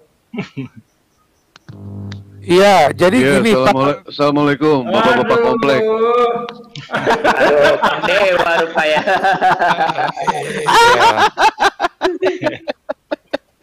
Luna Maya. lanjut lanjut. Predator. Antonius. J- Jadi gini Ini pak. bukan bukan Luna Maya, Luna Mihun ini mah. Ya, kalau saya gini, kita Silakan, coba buang dulu, silakan. eh, kita buang dulu eh, konsep-konsep dari kita kepala kita. Luna Maya malam ini ya, karena namanya dipinjam. Ya, halo. Siap lanjut lanjut lanjut bang lanjut. Ya, lan- Iya, lanjut jadi lanjut. kalau saya, kalau saya eh, prinsipnya gini, kita coba buang dulu eh, masih konsep-konsep dengar di dengar kepala Pak kita. Silakan Pak Aha. Iya, eh, kita lihat dari teksnya aja, eh, logika dari Kalau teksnya. nggak ada lagi saya tutup nih. Halo, halo, Oh, Bang Aristo ngedengar nggak Bang. Aristo? Bang Bang Haji, Dengar nggak? Aristo dari- Bang Antonius dari tadi bicara itu bang. Iya, Iya. Oh berarti jaring berarti jaringan saya berarti Ya, sorry, sorry. Iya. Lanjut, lanjut. Ah, ah. Lanjut Bang Antonio. Iya, terima kasih. Jadi kalau kita, kalau saya ngelihatnya dari teks aja, jadi tanpa background pemahaman kita, tanpa background eh, penafsiran, kita lihat dari alur teksnya. Jadi dari saat Tuhan eh, menampakkan diri, kemudian eh, terjadi perbincangan di situ, kemudian perbincangan mengatakan aku berfirmanlah gitu. Jadi eh, di situ otomatis ada komunikasi. Nah kalau dibilang itu malaikat, eh, berarti malaikat itu bisa ngambil keputusan karena di situ jelas dikatakan eh, ada adanya apa namanya eh, adanya negosiasi di situ ya Eh, di situ kalau kita bacakan di ayat eh, berapa? Ayat 17 itu Tuhan bernegosiasi gitu. Eh, terus Tuhan berpikir juga di situ apakah aku akan menyembunyikan ini dari Abraham? Dan ada komunikasi jadi jadi bukan sekedar membawa pesan. Kalau malaikat kan sifatnya membawa pesan udah tapi dia tidak ada mempertimbangkan ada ambil keputusan dan sebagainya. Nah kalau di sini kita melihat ada ada ada proses itu pertimbangan pengambilan keputusan. Jadi kita bisa lihat dari pembacaan teks tersebut bahwa eh, yang berbicara ini sama dengan yang eh, dikatakan di situ yaitu Tuhan. Tuhan berfirman.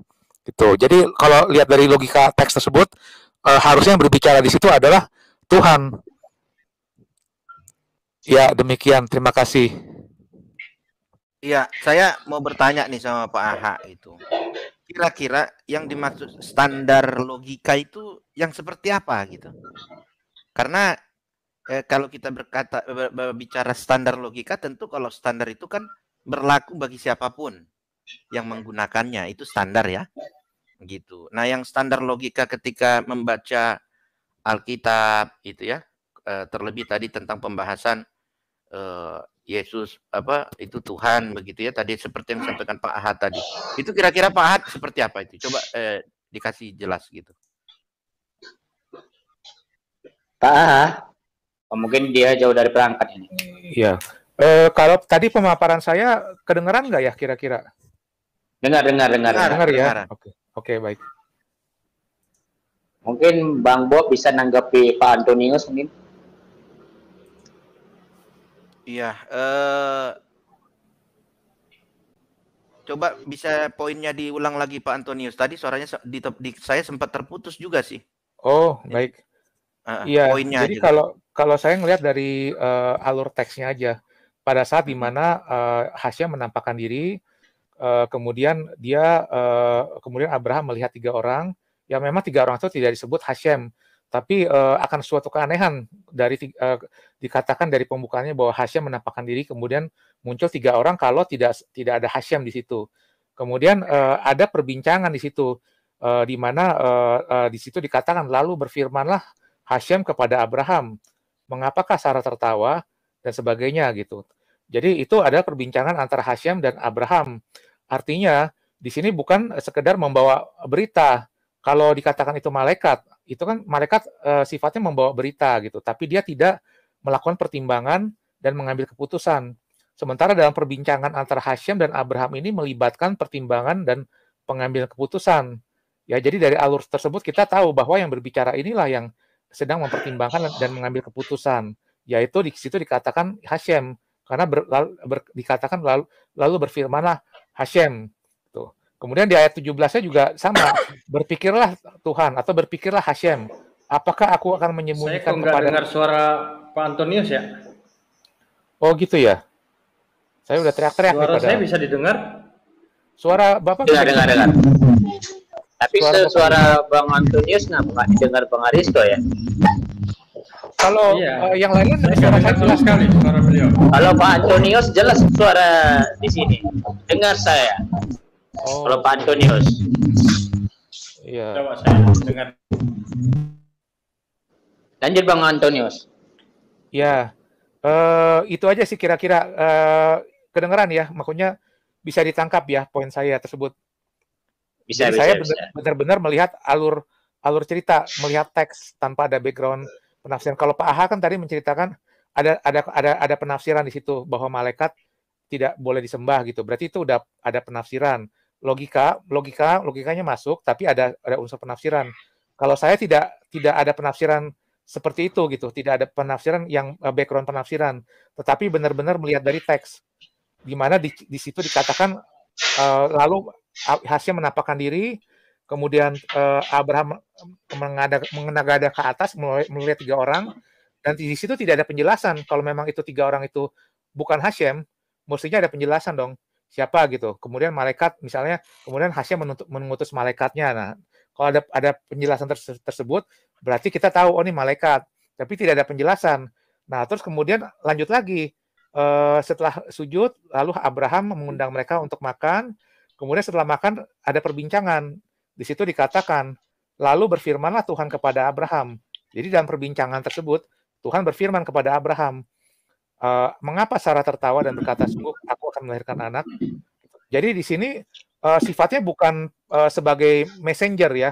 Kalau malaikat kan messenger, seperti Jibril. Jibril menyampaikan eh, apa yang disampaikan disampaikan oleh Allah gitu. Tapi tidak tidak ada proses pengambilan keputusan maupun pertimbangan. Nah, kalau di sini ada proses pengambilan keputusan. Jadi ada ada ada tanya jawab. Tanya jawabnya di situ dikatakan dengan Hashem dengan Tuhan, bukan dengan malaikat. Jadi tidak ada kata malaikat di sini. Kalau kalau malaikat katakan Jibril, pasti ada tertulis eh, apa namanya lalu Jibril berkata atau di, malaikat itu berkata gitu. Tetapi di sini dikatakan Tuhan. Lalu berfirman Tuhan kepada Abraham. Dan di sini jelas di eh, 18 ayat 17, berpikirlah Tuhan, apakah aku akan menyembunyikan kepada Abraham apa yang hendakku lakukan? Nah, di sini nggak mungkin malaikat. Kalau malaikat nggak mungkin berpikir seperti itu. Karena malaikat hanya messenger. Kira-kira itu poinnya sih. Terima kasih.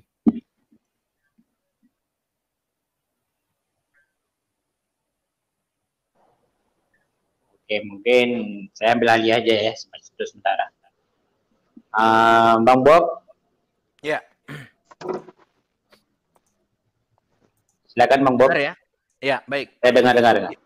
Benar, iya. Eh, s- eh, apa yang disampaikan Pak Antonius tadi memang secara eh, lebih mudah ya, lebih mudah untuk mengartikan ya, karena kalau mengartikan itu dari apa yang tertulis, lalu hubungannya antara paragraf ke satu, kedua, ketiga, ayat yang satu, ayat kedua, ayat ketiga ya, begitu. Tetapi kalau di ayat 19-nya kita baca itu kan bersambung ya kisahnya ya ke ke tempat Abraham dulu, ke rumah Abraham dulu, baru pergi eh, eh, mengarah ke Sodom dan Gomora. Lalu di ayat 19-nya eh, di ya di pasal 19-nya ayat 1 di situ tegas dikatakan kedua malaikat itu. Ya, kalau kita baca itu. Nah, Dua, kedua di malaikat situ dua tapi kan. Iya, dua. Karena di ayat 18 kan sudah diceritakan, lalu pergilah Tuhan di ayat 33 ya. Setelah ia selesai berfirman kepada Abraham dan kembalilah Abraham ke tempat tinggalnya. Kan begitu.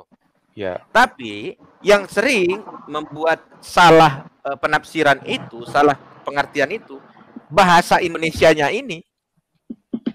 Ya. Apakah dari bahasa aslinya memang seperti ini maksud penggunaan kata-kata Tuhan itu? Gitu ya. Karena di sini ada bahasa di ayat eh sebentar ya.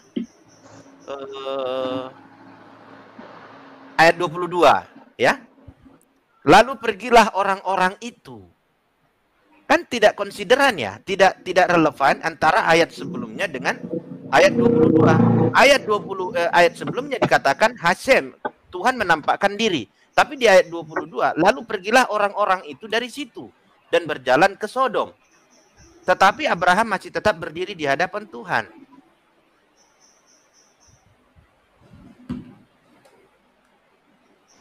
Nah itu, nah ini ini yang yang saya katakan sering justru benturan ketika eh, kita berusaha eh, membaca Alkitab lalu memahaminya, mengartikannya, memaknainya ya. Tentu kan ini harus kembali ke yang punya kitab dulu, yang punya grammar, eh, yang teks original teksnya kan. Seperti apa gitu maksudnya dari dari nats ini tadi ya. Ini pasal 18 ini begitu. Karena kalau kita baca secara utuh dari ayat 1 sampai 33 ada menyebutkan orang-orang ya. Begitu melihat tiga orang begitu. Sebetulnya Nah, gini Pak Pak Pak Bob, boleh saya bicara? Sebetulnya mem- membaca itu kita mengerti itu mudah. Anak TK sekolah minggu juga mengerti itu ayat yang mudah. Yang jadi dimasalahin karena Pak Valen tidak bisa terima Hasem menjadi eh, mengambil rupa malaikat atau orang itu yang menjadi masalah Pak. Ayat-ayat Iya, itu benar. jelas, Saya- tapi buat saya- Bang- saya Bang juga- Valen saya tidak juga bisa terima itu. Sudah Saya ada background kita teologi baca di kalau baca secara harafiah hurufiah itu gampang Eh. udah jelas itu Hashem. Tapi karena Bang Valen tidak terima makanya saya harus jelasin logika dasarnya begitu. Ah. Jadi jadi begini Itu ya. lagi bukan yang jadi hanya- masalah. Sebetulnya kalau baca ayat itu udah udah ngerti orang anak TK sekolah minggu juga udah ngerti. Oh itu uh, ada Tuhan berarti itu yang saya tahu. Jadi sebenarnya begini Pak Ahad ya, eh, Pak uh, Ahad. Sama saya juga di sini sedikit apa ya tidak terima ketika Tuhan turun lalu berbentuk orang gitu ya. Berbentuk Oh, orang. Pak, kan kan kalau Tuhan Maha Kuasa, Maha Kudus, tidak mengambil rupa malaikat atau manusia, manusia ketemu mati, Pak. Itulah yang Musa mau ketemu mau lihat, tapi Hashem katakan, "Engkau melihat aku, engkau pasti mati." Makanya Hashem yang eh, prima causa dan transenden itu mengambil rupa teofani malaikat atau manusia untuk supaya manusia tidak mati dan bisa berdekatan dengan manusia. Itu eh, iman dasar Kristen Pak. Iya, ya, dan- kita kan dan dalam kemudian ini kan dalam konteks ini kan eh, kita berbicara di kejadian ini ya di kisah Abraham ini ya. Iya. Nggak maksudnya Begitu. saya bingung juga ini iman dasar Kristen loh Pak. Saya bingung gitu Lah, Enggak, begini Pak. Pak, Pak Bobson sudah punya konsep bahwa Allah tidak bisa menjadi manusia. Jadi konsep ini sama dengan yang di, yang dipercaya oleh Valen. Jadi mereka Jadi membaca kejadian tersebut dengan konsep tersebut. Sebentar, sebentar.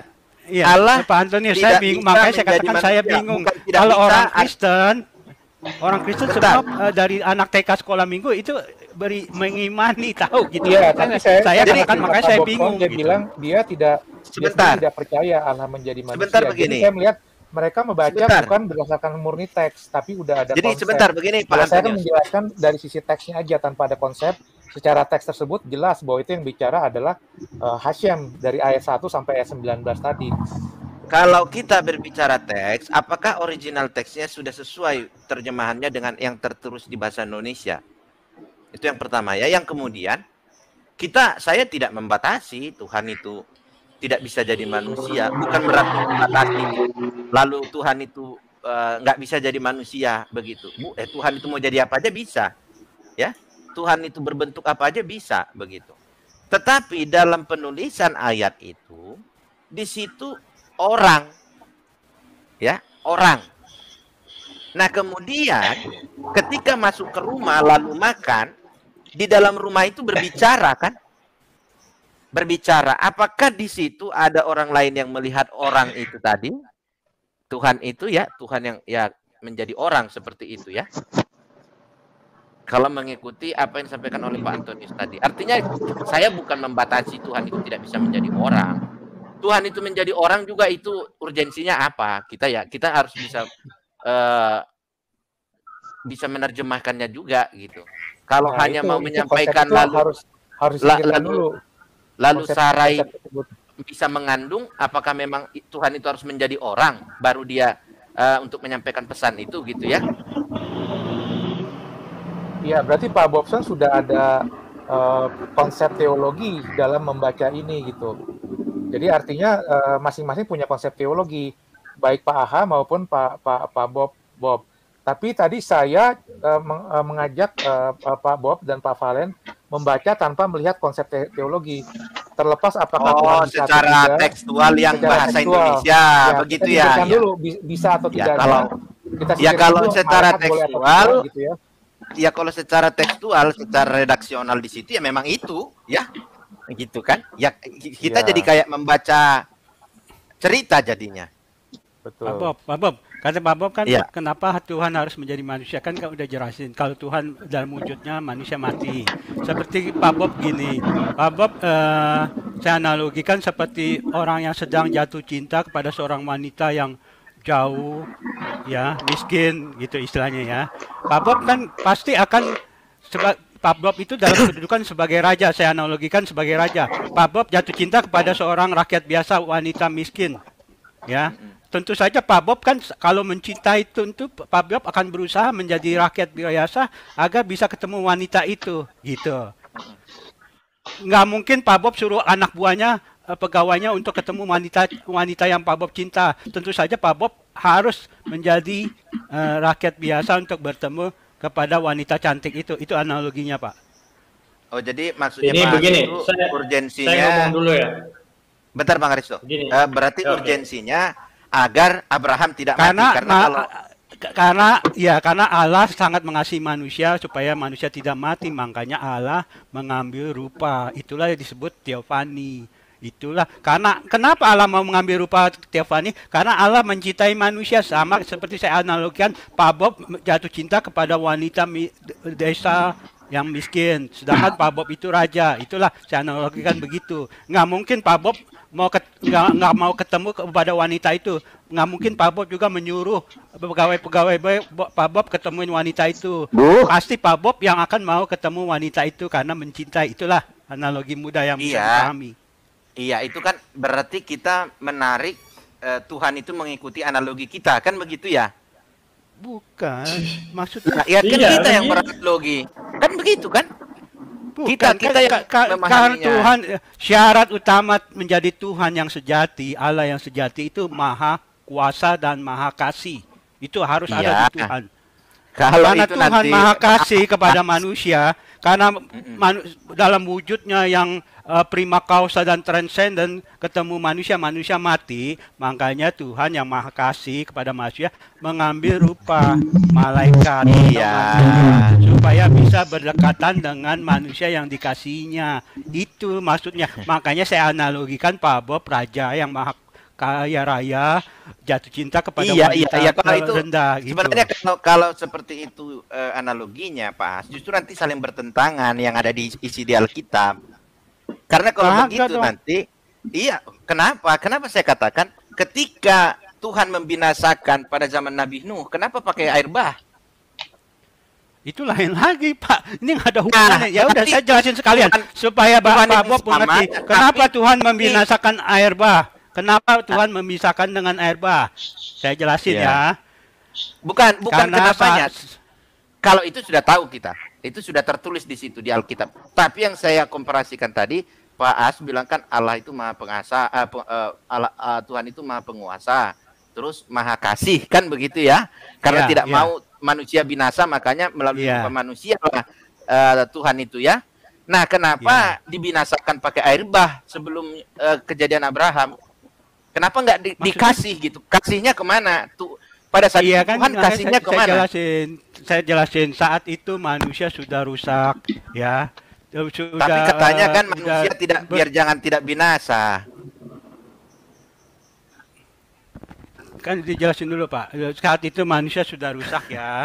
A- Ada Oh berarti gini, hu- Pak As berarti gini. hancur. Berarti beda kejadian beda lagi ya analoginya gitu ya. Pokoknya setiap kejadian beda-beda, setiap peristiwa beda-beda, beda-beda. Tapi Tuhan yang sama begitu ya. Pak, Kalau melihat dari sebab- salah satu dong, Pak. literaturnya Yahudi, di situ diceritakan manusia tuh udah bercampur dengan eh, eh, apa namanya terjadi perkawinan antara malaikat yang disebut Ya, watcher, malaikat yang jatuh. itu ya udah dengan manusia. waktu air bah Sehingga itu. genetiknya tuh udah udah nggak murni manusia gitu loh. Oh berarti Iya, dibinasakan begitu. Iya. Nah Iya, baik, kalau- kejadian kalau Sodom dan Gomora, kenapa yang Tuhan lebih dalam soal Sodom dan Gomora? Kenapa Sama tidak di Sodom dikasihi? dan Gomora itu ada penjinahan dengan binatang sudah Oh, hancur-hancuran. berak. Nah, pada saat tidak itu normal sebagai manusia norm- normal hubungan seks dengan binatang makanya dimusnahkan. Dosanya sudah Jadi- parah. Itulah. Jadi pada saat itu Tuhan itu tidak maha kasih. Jadi kalau ada orang yang, yang berdoa lebih dari 10 orang, itu Tuhan akan akan eh, apa namanya akan Iya. membebaskan. Jadi ini tergantung Ah, ah. tergantung pergumulan antara manusia sendiri dengan Tuhannya. Kalau misalnya manusianya berdoa berdoa syafaat, eh, cukup doa syafaatnya, maka Tuhan akan eh, menahan diri untuk tidak menghukum. Oh begitu. Iya, Berarti itu, pembicaraan itu antara kejadiannya kapan Tuhan itu? dengan Abraham kan? Ya ada Itu ayat. di ayat 18 ya? Hmm, saya saya boleh saya boleh ikut ngomong. Boleh, Silakan, ngomong. silakan Bang Resto, silakan. Izin ya, oke. Begini ya, mohon maaf ya, mohon maaf. Kita hanya berdiskusi ya. Iya, silakan Eh, bebas kok. Iya, Bicarakan aja yang menjadi kebingungan Pak Aris tuh. Iya, makanya izinkan saya saya berbicara gitu. Jadi gini, menurut saya analisa dan analogi yang disampaikan oleh Pak Aha ini logika falasi Pak. Begitu karena apa? Eh, dari narasi yang Bapak kembangkan seolah-olah Tuhan itu Bapak ukur dengan analisa asumsi Bapak Ya, terkait beberapa kejadian tadi. Oh Tuhan itu harus begini, Tuhan itu harus begini gitu. Nah kemudian tadi Bapak sampaikan eh, analoginya saya men, saya seorang raja mencintai gadis desa nggak nyambung gitu. Karena beda lagi konteksnya gitu. Sekarang kalau kita kemudian analogikan saya juga bisa menggunakan analisa dan analogi saya. Misalnya saya mencintai seekor kelinci begitu agar saya bisa mencintai menyayangi seekor kelinci, saya harus kemudian menjadi kelinci. Ini analogi falasi, Pak. Nggak, nggak bisa nggak bisa tepat kayak begitu. Pak. Gini, Itu lain Pak analogi. Pak. Bi- hewan dengan manusia beda Pak. Iya, sabar dulu. Ah, ini kan analogi, Pak. Itu bukan analogi, itu Bapak lagi Nah, berimajinasi khayalan sendiri. Oke, oke, saya saya jawab. Kalau begitu, Bapak membantah yang analogi yang saya sampaikan. Ini manusia yang mencintai manusia gitu loh. Kan gitu. Artinya ini beda kalau Bapak katakan, oh beda lagi. Lah beda juga, Pak. Ini Tuhan, Pak, bukan manusia. Gitu. Hewan Nah, dengan manusia gini, beda Pak. Ini kan saya berbicara analogi. Nah, Iya analoginya begini ya, kurang tepat. Maksud Iya, saya Bapak mohon- analoginya kurang tepat. Bapak lebih mak- maksud saya yang saya sampaikan analogi saya saja tidak bisa Bapak terima. Bagaimana mungkin analogi yang Bapak sampaikan bisa kami terima?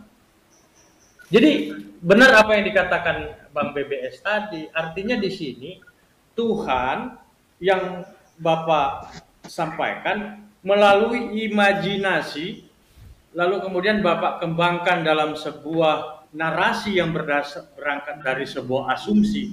Artinya Tuhan itu harus mengikuti asumsi Pak Aha. Ini enggak enggak apa Bukan namanya? Pak, semua kan berdasarkan dari ayat-ayat Alkitab Pak. Nggak boleh di luar ayat Alkitab Pak. Ya artinya begini, Semua Bapak. berdasarkan ayat-ayat Alkitab. Oke oke. Jadi saya bisa simpulkan pernyataan Bapak Aha. Bapak sedang terjebak dalam sebuah argumentasi asumsi yang kemudian Bapak berangkat dari pemikiran Bapak sendiri.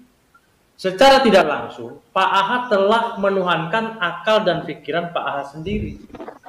Salah Pak. Semua ada dasar Pak. Dasarnya kan saya udah jelasin dasar Alkitab. Orang Kristen bicara nggak boleh keluar dari Alkitab. Semua ada dasar ayat-ayat Alkitab Pak. Nggak bisa Pak. Iya, Kalau tadi saya begini, keluar, kalau begini, saya begini. keluar dari ayat-ayat Alkitab berarti saya sedang menciptakan berimajinasi berhayal. Lah, Bapak Lagi kan tadi menong, di awal lagi me- lagi menonggeng nih istilahnya. Ya, Bapak, Bapak, eh, Bapak, Bapak, tolong begini ya.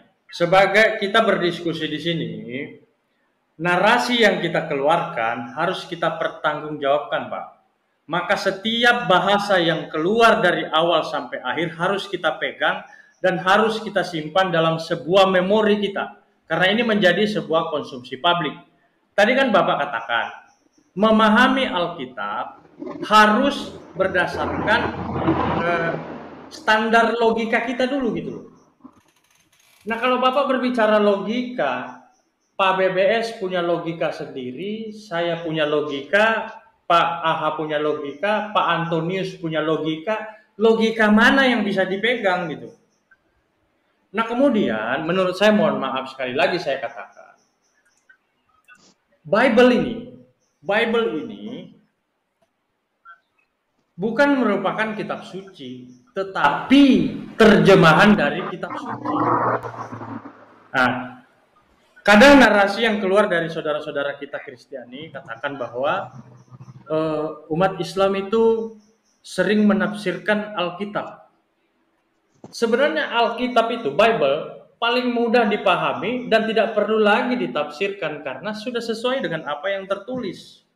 Justru yang sedang menafsirkan ayat-ayat Alkitab itu adalah Bapak Aha dan teman-teman lainnya.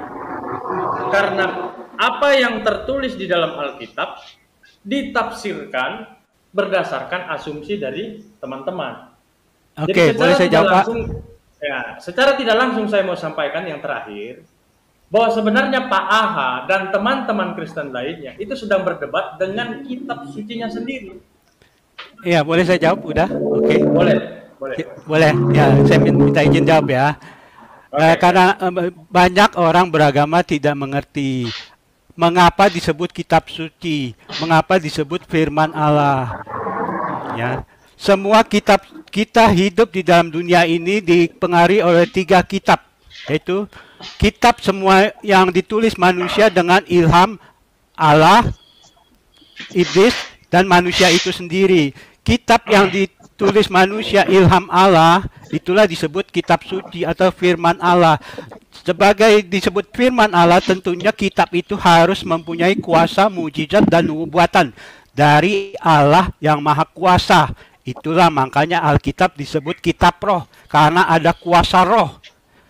Ketika kita berbicara ayat-ayat Alkitab, itulah mempunyai kuasa. Ayat-ayat itu hidup karena kitab roh, ada kuasa roh. Sama seperti kita memiliki kitab sihir. Ketika kita membaca eh, jampe-jampe magic sihir, buku kitab sihir, itu mempunyai kuasa, kuasa dari setan. Makanya kita bisa memelet eh, orang lain, mengguna-guna orang lain. Itulah disebut kitab roh. Tapi yang satu kitab roh dari Allah, dari Roh Kudus, satu lagi kitab dari iblis, dari setan. Dan yang ketiga, kitab yang ditulis manusia, ilham manusia, itulah buku pengetahuan, matematika, itulah bedanya. Itu pahami dulu logika dasar berpikir. Jadi, dinamakan na- namakan kitab suci yang dari firman Allah harus Kasih waktu bilang ada saya kuasa Allah. Ya. Ada harus ada kuasa Allah, yaitu saya boleh tambahin? harus ada punya kuasa nubuatan dan mujizat dari Allah yang Maha Kuasa sebagai bukti itulah kitab suci firman Allah yang Maha Kuasa. Ya, Ini itu. menarik. Kasih Ya, kesimpulannya kesimpulannya begini, Sabar Bang Aristo sabar- sabar eh, tidak di Miro Kudus kesimpulannya. Sabar dulu ya. Ini ini menarik. Pus- menarik. Saya, saya- Pusing-pusing saya deh ya pada Iya, itulah dari sabar sisi Pak. teologisnya ya, teologisnya. Sabar gitu. dulu Pak. Pak. Saya akan jawab eh, apa analogi dan logika Pak Aha. Oke. Ya, silakan. Saya akan saya akan ambil dua dua ini Pak. Di tangan kanan saya ini Al-Qur'an, Pak. Di tangan kiri saya ini buku. Apa yang membedakan dua barang ini, Pak? Ini kalau Bapak mau berbicara logika. Iya, Ini tapi saya nggak saya nggak mau saya nggak mau menghakimi kitab Anda ya. Yang Tidak, membedakan tidak, tentu saja kuasa, kuasa, kuasa, kuasa. Makanya gini Pak, kas jangan dipotong dulu, biar tersampaikan analisa Iya, iya, dan iya. logika saya kepada Bapak. Bapak kan ingin mengajak oke. saya untuk Iya. adu argumentasi berdasarkan logika. Oke, Iya, oke. di tangan saya ini, ini kitab suci Pak, yang saya imani. Iya, Ini buku. iya. Kasih waktu dulu saya Pak ya. Iya. Apa yang membedakan dua barang ini? Sama saja, Pak. Dua ini berbahan baku kertas. Sama saja. Tetapi kok bisa ini dikatakan kitab suci ini bukan? Kenapa ini dikatakan kitab suci? Kenapa buku ini tidak dikatakan kitab suci? Yang membedakan dari kedua barang ini adalah yang satu bertuliskan yang diyakini sebagai firman Tuhan, yang satu ini tidak. Sama-sama ber- berbahan baku kertas. Oke. Tadi Bapak eh, apa mencoba meng- mengulik tentang logika. Sekarang Bible saya hargai itu diimani oleh saudara-saudara kita umat Kristiani sebagai kitab suci. Tadi sudah saya analogikan kedua barang ini. Kenapa? Atau ini ya, saya ambil Bible. Kebetulan saya juga punya Bible. Ya. Dua ini sama-sama diyakini sebagai kitab suci. kan berbahan baku kertas. Dikatakan kitab suci karena isi dan tulisan yang ada di dalam kedua kitab ini. Nah, Bible hanya bisa dipahami, mohon maaf sekali lagi, terkait dengan ayat-ayat yang sudah kita diskusikan tadi. Ya. Firman telah menjadi manusia yang diyakini oleh umat Kristiani itu adalah sebuah inkarnasi yang kemudian menjadikan Yesus sebagai Tuhan. Menurut saya ayat ini sangat kurang tepat kalau kemudian dijadikan Yesus sebagai Tuhan. Karena di dalam ayat itu dikatakan Tuhan telah menjadi manusia. Pak Aha manusia, Aristo manusia, Pak Mawar manusia, Bro Valen manusia, kita semua ini manusia. Maka ayat itu tentunya menyentuh kita juga karena kita adalah manusia. Ayat itu tidak ditegaskan firman telah menjadi Yesus. Kan begitu. Ini analisa dan logika berpikir yang standar-standar saja. Saya tidak sedang firman telah menjadi manusia. Saya manusia. Udah, Pak boleh saya jawab, Pak? Boleh saya jawab? Ya, silakan. I- itu namanya Bapak logika orang bingung.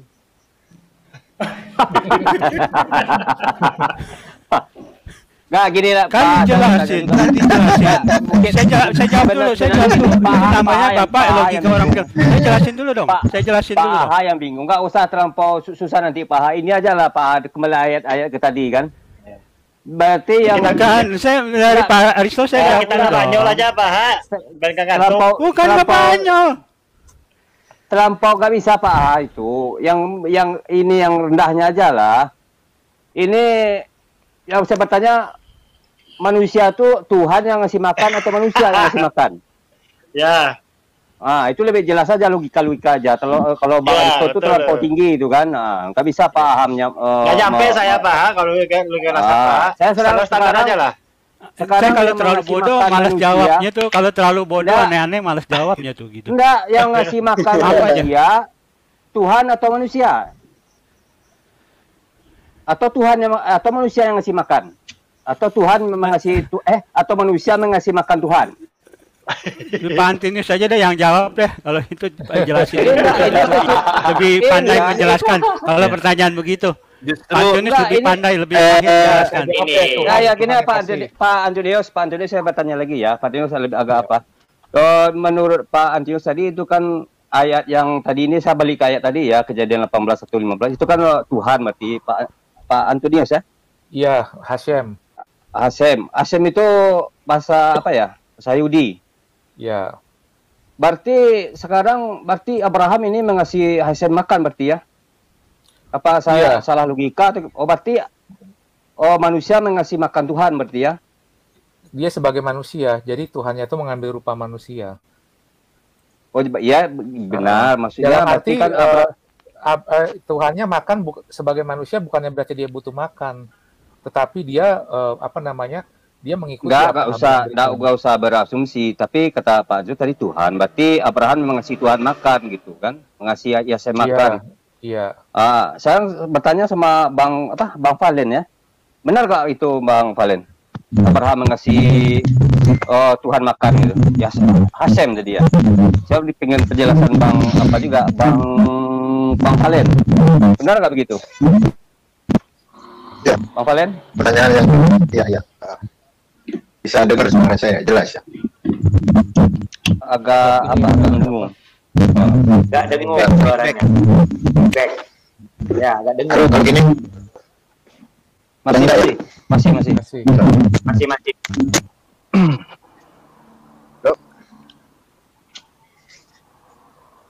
Halo tes. Iya, ini lebih baik.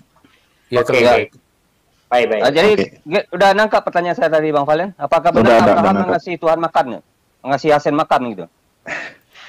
Nah, kalau kalau pertanyaan itu bagus ya. Apakah manusia mengasih makan Sang Yang Maha Kuasa di Nah, dalam sebentar dulu Bang, eh, sebentar Bang Valen. Ini saya bukan asumsi ya, ini tertulis di Alkitab ini, Al- eh, tertulis di Bible ya.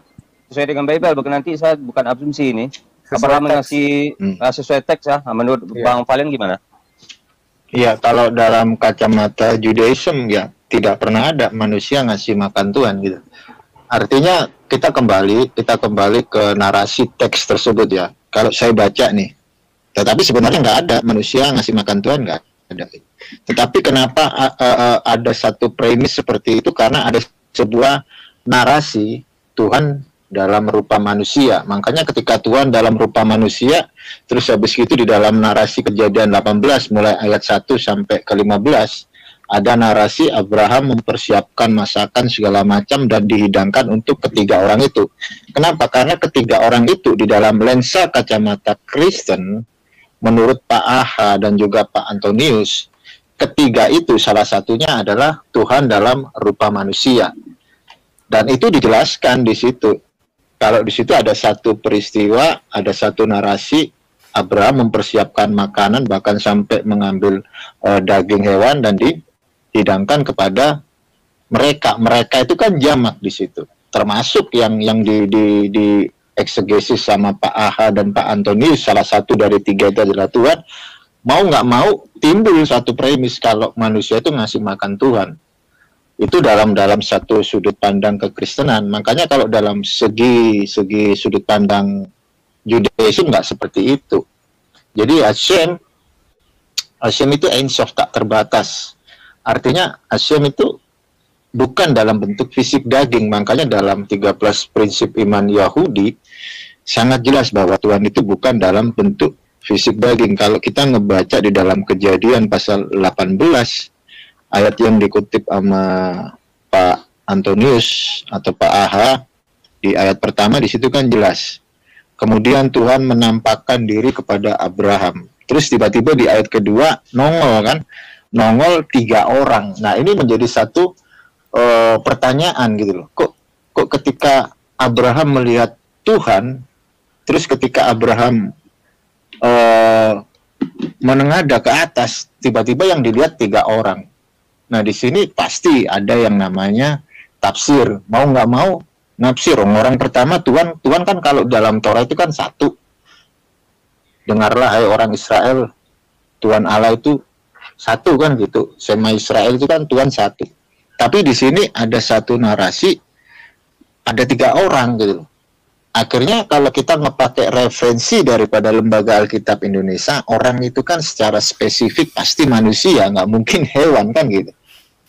Artinya kalau tiga orang ini mau direpresentasikan salah satunya itu adalah Tuhan, itu nggak masuk.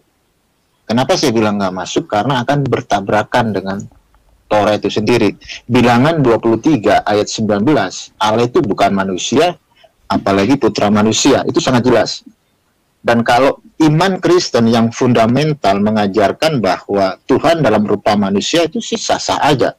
Tapi mereka kan pakai yang namanya lensa kacamata hermeneutik sesuai dengan tradisi Bapak Gereja. Artinya mau nggak mau harus ditafsir gitu. Semua agama keyakinan pakai yang namanya tafsir. Tetapi apakah tafsir itu sesuai? Contoh kayak ada eksegesis, ada eisegesis dengan hermeneutik. Kalau eksegesis satu ayat yang dikutip harus chemistry. Interpretasinya harus harus chemistry, harus berhubungan. Tapi kalau eh, dia mentafsir menurut mindset mereka sendiri, jatuhnya ke eisegesis yang kedua. Nah, kayak begitu. Oke, lanjut.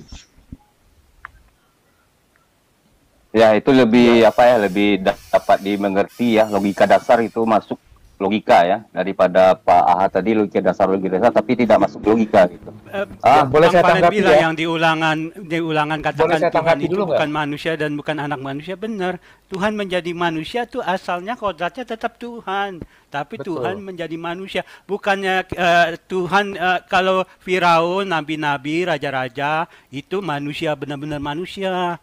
Beda. Gini gini, gini Pak, gini gini, dasar. gini Makanya gini. saya kasih contoh, Pak Aditya asalnya Dewi Kayangan yang cantik, inkarnasi Alah, jadi Dewi burung Kayangan, pipit. Itu saya cantik. analogikan supaya mudah dimengerti. Pak Aditya Nah, asalnya Dewi gini. Kayangan yang cantik apa burung pipit? Tetap asalnya Dewi Pak- Kayangan yang cantik. Itu. Pak, Pak, itu Pak makanya saya analogikan sekarang- supaya sekarang mudah. Saya, sekarang saya bertanya logika dasar lagi Pak. Seandainya Tuhan itu tidak dikasih makan ini di oleh Ibrahim, eh oleh Ibrahim, oleh Abraham, terus apa yang terjadi kira-kira Pak uh, Pak Aha? Seandainya seandainya Tuhan ini tidak dikasih makan oleh Abraham, ini pertanyaannya timbul terus nih kalau dibaca ayat ini. Oh ya, Pak Antonius yang jawab yang Tuhan? lebih paham deh. Pak Antonius yang jawab yang lebih Ya. paham. Apa yang sebenarnya- kedagingan kedagingan Tuhan itu Pak? Kalau tidak dikasih makan, kedagingan Tuhan Mungkin itu begini bagaimana? ya, kalau saya boleh ngomong sedikit ya. Kalau kita dalam Islam itu mungkin begini ya, misalkan eh, seperti di ayat yang Bang Palen sampaikan tadi kan, ya Sema Israel itu kan, ya, bahwasanya Hai Bani Israel, dengarlah Tuhan Allah, Allah kita itu Tuhan itu esa, kan? Dan terus diperkuat di ayat yang lain ya kan, di bilangan apa itu bahwasanya Tuhan itu bukan manusia, katanya kan seperti itu. Artinya sudah ada dua ya penguat ayat itu tadi kan. Nah, jika ditemukan eh, ayat-ayat yang rada ambigu seperti tadi, ya, kalau memakai istilah Islam itu ya namanya harus ditakwil itu, ya. Karena apa? Karena di- jika diartikan secara harfiah, maka akan kontradiksi dengan ayat yang lainnya, seperti itu. Artinya eh, ayat ayat yang satu bisa menjelaskan ayat yang lain. Oke, saya tanggapi ya. Hmm. Ya. Jadi bilangan tadi berapa bilangan saat bilangan 23 ini eh, ayat 19 di situ dikatakan Allah bukanlah manusia sehingga ia berdusta, bukan anak manusia sehingga ia menyesal. Jadi di sini eh, dia tidak mengatakan bahwa Allah tidak bisa menjadi manusia atau bisa mengambil rupa manusia, tetapi Allah bukanlah manusia. Jadi secara hakiki, secara definisi memang Allah bukan manusia. Artinya ayat ini tidak membantah eh, eh, konsep Tuhan menjadi manusia. Konsep Tuhan tidak bisa menjadi manusia itu adalah seperti yang tadi Bang Valen sampaikan, adalah lensa Yudaisme atau apa namanya eksegesi dari Yudaisme. Jadi tidak ada di ayat tapi eksegesi. Nah, kalau kita benar-benar mengacu ke teks, artinya eh, eksegesi atau lensa Bang Valen lah yang harus disesuaikan dengan teks gitu. Jadi kalau memang teksnya di situ men- men- menunjukkan bahwa eh, Hashem itu eh, bisa menjadi manusia, bisa makan dan sebagainya, ya itu berarti eksegesinya harus disesuaikan. Bukannya bukannya kita jadi eh, apa namanya? eh, bukannya gimana ya? Bukannya eh, teksnya yang yang harus ditafsirkan sesuai dengan eksegesi gitu. Jadi Ya, gini Pak aja. Antonius, saya tanggapi dulu ya. Eh, kalau Hashem Bang, Bang dalam Valen saya Bang Valen saya permisi dulu Bang Aditya, Bang Bob, Bang Antonius, Oke, Bang oke, siap. Aristo saya permisi dulu. Ah, assalam udah larut malam. Assalamualaikum. Salam titip semuanya. salam ya, Pak Mawar buat, Waalaikumsalam warahmatullahi wabarakatuh. Hmm. Oke siap. Jadi itu saya bukan bereksekusi, saya mencoba untuk mengcompare gitu loh. Artinya begini, ketika kita bereksegesis itu harus chemistry. Kalau nggak chemistry nanti jatuhnya ke exegesis menurut mindset mereka, eh, mindset kita sendiri. Hashem itu nggak ada bentuk fisik fisik daripada Tuhan itu nggak ada gitu loh. Makanya ketika ada satu pengajaran Tuhan dalam rupa manusia, maka mindset saya dari mana pengajaran ini gitu loh. Dan kalau saya ngelihat di dalam kejadian, ya kejadian, saya ngambil dari Christian Bible, dari kejadian sampai Maliaki, itu nggak ada secara letterlix tertulis Tuhan dalam rupa manusia itu nggak ada. Terus Menjadi adanya di mana kan? Menjadi, menjadi bisa nggak? Jadi memang Tuhan bukan manusia. Loh, kalau kalau kalau. Eh, sebentar, kalau ngomongin menjadi nanti jatuhnya gini, eh, Tuhan itu maha kuasa, dia mau jadi apa saja suka-suka Tuhan, nanti debat kusir.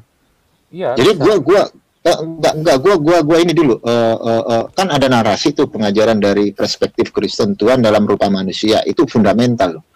Dari mana pengajaran Tuhan dalam rupa manusia itu gitu. Kalau kita ngelihat sekali lagi secara teks ya letterlix itu nggak ada tertulis seperti itu. Nggak ada. Mulai dari kejadian sampai Maliaki nggak ada. Tetapi ketika eh, narasi Tuhan dalam rupa manusia itu ada di dalam kisah para rasul 14 ayat 11 ya. Saya buka dulu dalam kisah para rasul. Maksudnya menjadi ya, bukannya dalam rupa manusia. Memang Tuhan bukan manusia, tidak seperti manusia. Tapi yang kita bicara iya Pak Antonius. tapi kan iya sebentar nggak ada. Walaupun dalam kejadian-kejadian sampai Maliaki nggak ada. Tuhan menjadi manusia nggak ada. Tapi saya bisa pengajaran yang di kejadian 18 sebentar dulu adalah ada gitu loh. Iya, tapi kan nggak ada letterlix-nya. Iya, secara letterless nggak ada gitu loh. tekstualnya begitu logika tekstual Iya, itu sama aja, jatuhnya ke eksegesis. enggak loh Kan iman iman sebentar eksegesis. Pak. Eh, loh kok bukan eksegesis? Kan yang dibahas Iya. itu kan Tuhan dalam rupa manusia gitu loh. iya Kalau kita ngomongin kalau kita ngomongin eh, Tuhan menjadi manusia kan pasti timbul satu premis memangnya Tuhan nggak bisa jadi manusia. Nanti kan jatuhnya begini, oh Tuhan itu maha kuasa, dia mau mau jadi apa aja suka-suka Tuhan dong. Nanti kalau timbul premis ini jatuhnya debat kusir.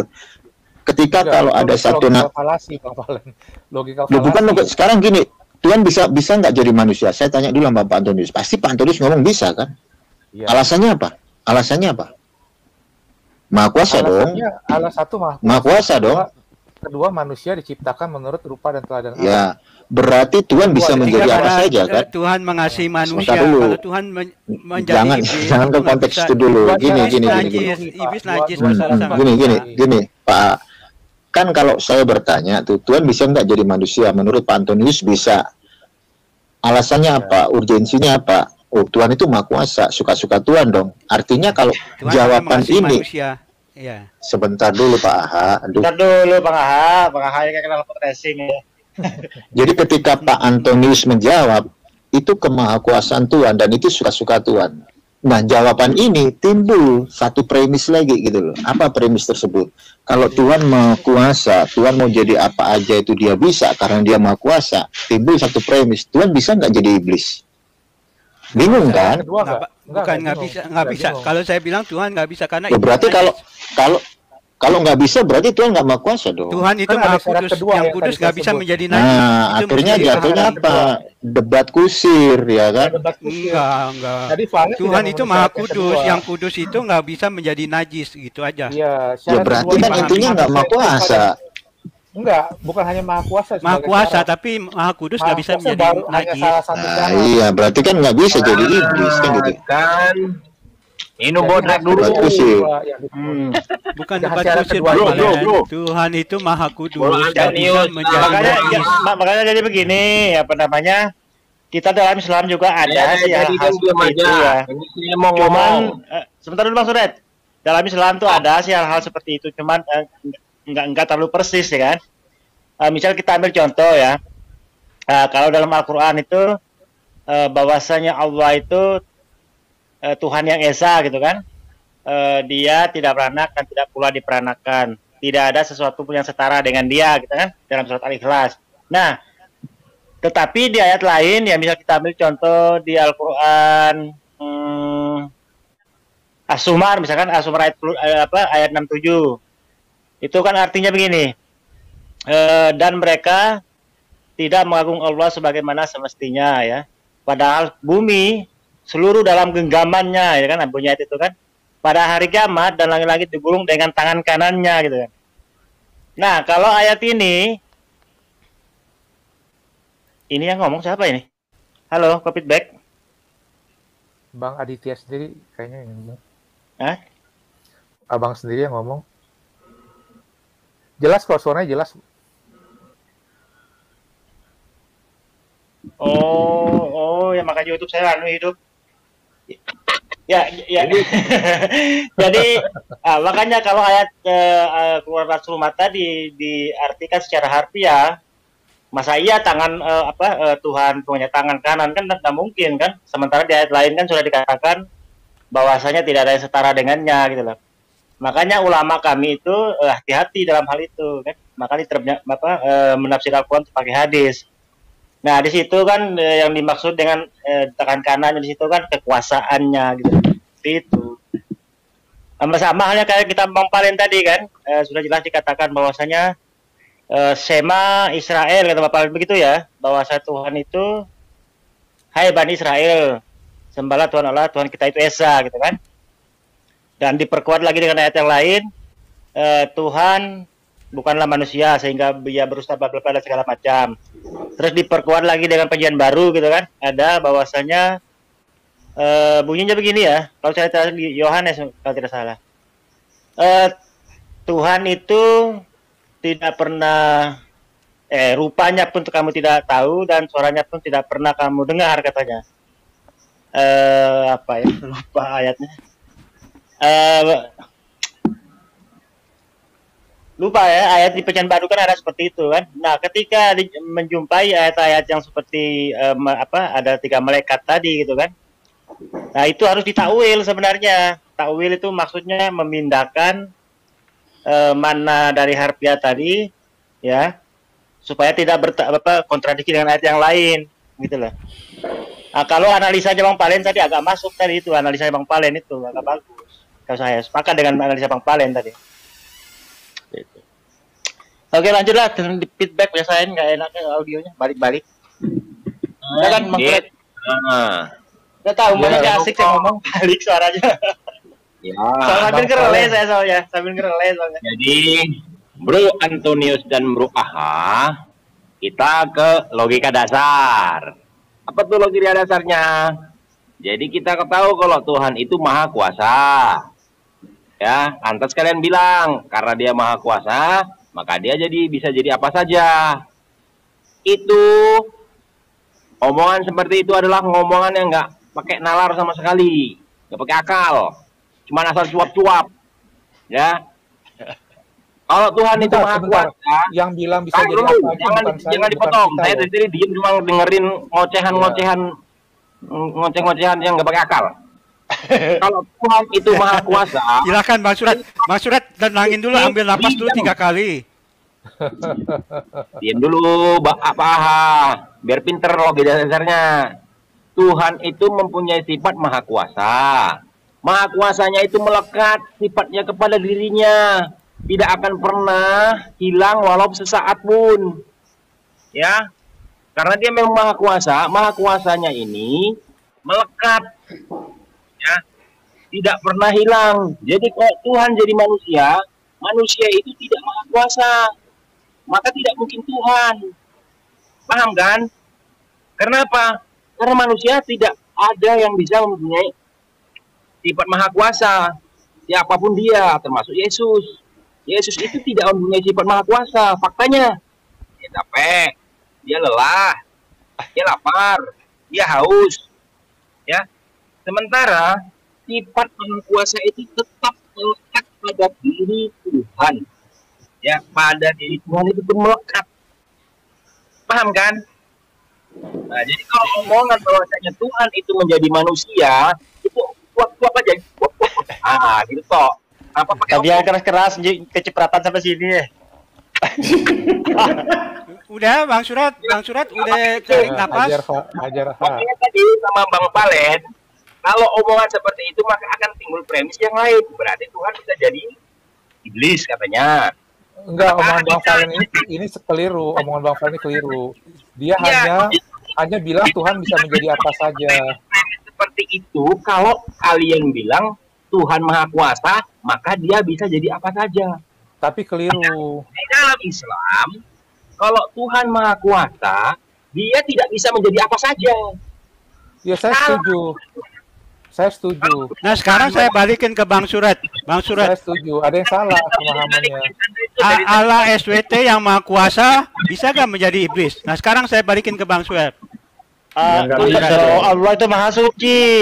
Betul, eh, nanti, Nah iya nanti, sama, sama. sama. Tuhan itu Allah maha Eh, kudus, kalau gak bisa menjadi Allah najis. eh, sebentar, kalau Tuhan itu jadi manusia, Aduh, makanya dipakai. Bang Surat logika dasar. Allah Iya. logika dasar Bang Surat dipakai. Oh Eh, Allah, iya, logika dasar. Allah yang maha kudus. Nggak mungkin bisa jadi iblis karena iblis itu eh, makhluk najis, berdosa, istilahnya gitu. Bang Surat pakai logika dasarnya sama. Jangan tanya ke Kristen pertanyaan yang sama. Bang Surat sekarang. Itu namanya Bang Surat Aduh, eh, Bang Surat. kurang minum susu susu susu cap dona. Ada syarat. Ayo, Bang Aha, karungin Bang Surat, Bang Aha. Allah itu Semuanya, nggak melanggar tahan dulu, tahan dulu. Tahan dulu, tahan. Tahan, tahan. Saya ulangi, ntar dulu ya, saya ulangi. Ya. Tuhan itu maha kuasa. Sifat maha kuasa itu melekat pada Tuhan. Kalau Namanya manusia. Kalau dia lepas, berarti dia tidak maha kuasa.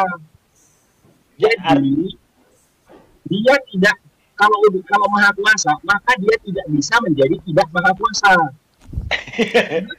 Yang maha kuasa? Maka, Ma, dia ma- tidak Bang menjadi apa pun. Iya, iya, udah ngerti, udah. Saya jawab ya. Paham Ya, kan? udah, dia saya jawab ya. tidak bisa menjadi apa pun, dia hanya bisa menjadi Iya, saya jawab ya. Saya jawab ya. Iya, jawab. Dari tadi ngomongnya satu puas aja. Hah? Kok mau Nggak, saya jawab kalau ya, Mas. daerah Jawab. ngomongnya cuma cuma puas aja. Orang nama Bang Surat, ngopi dulu, Bang Surat. Bang Surat, ngopi dulu, tenangin dulu. Ngopi dulu, tenang, tenang, tenang. Jangan emosi. Oh, ngomong-ngomong sudah tiga jam nih Pak Aristo. Iya, iya, iya, kita Halo, halo. Halo. Ya. itu melakukan itu. Bang Surat, eh, Bang Surat.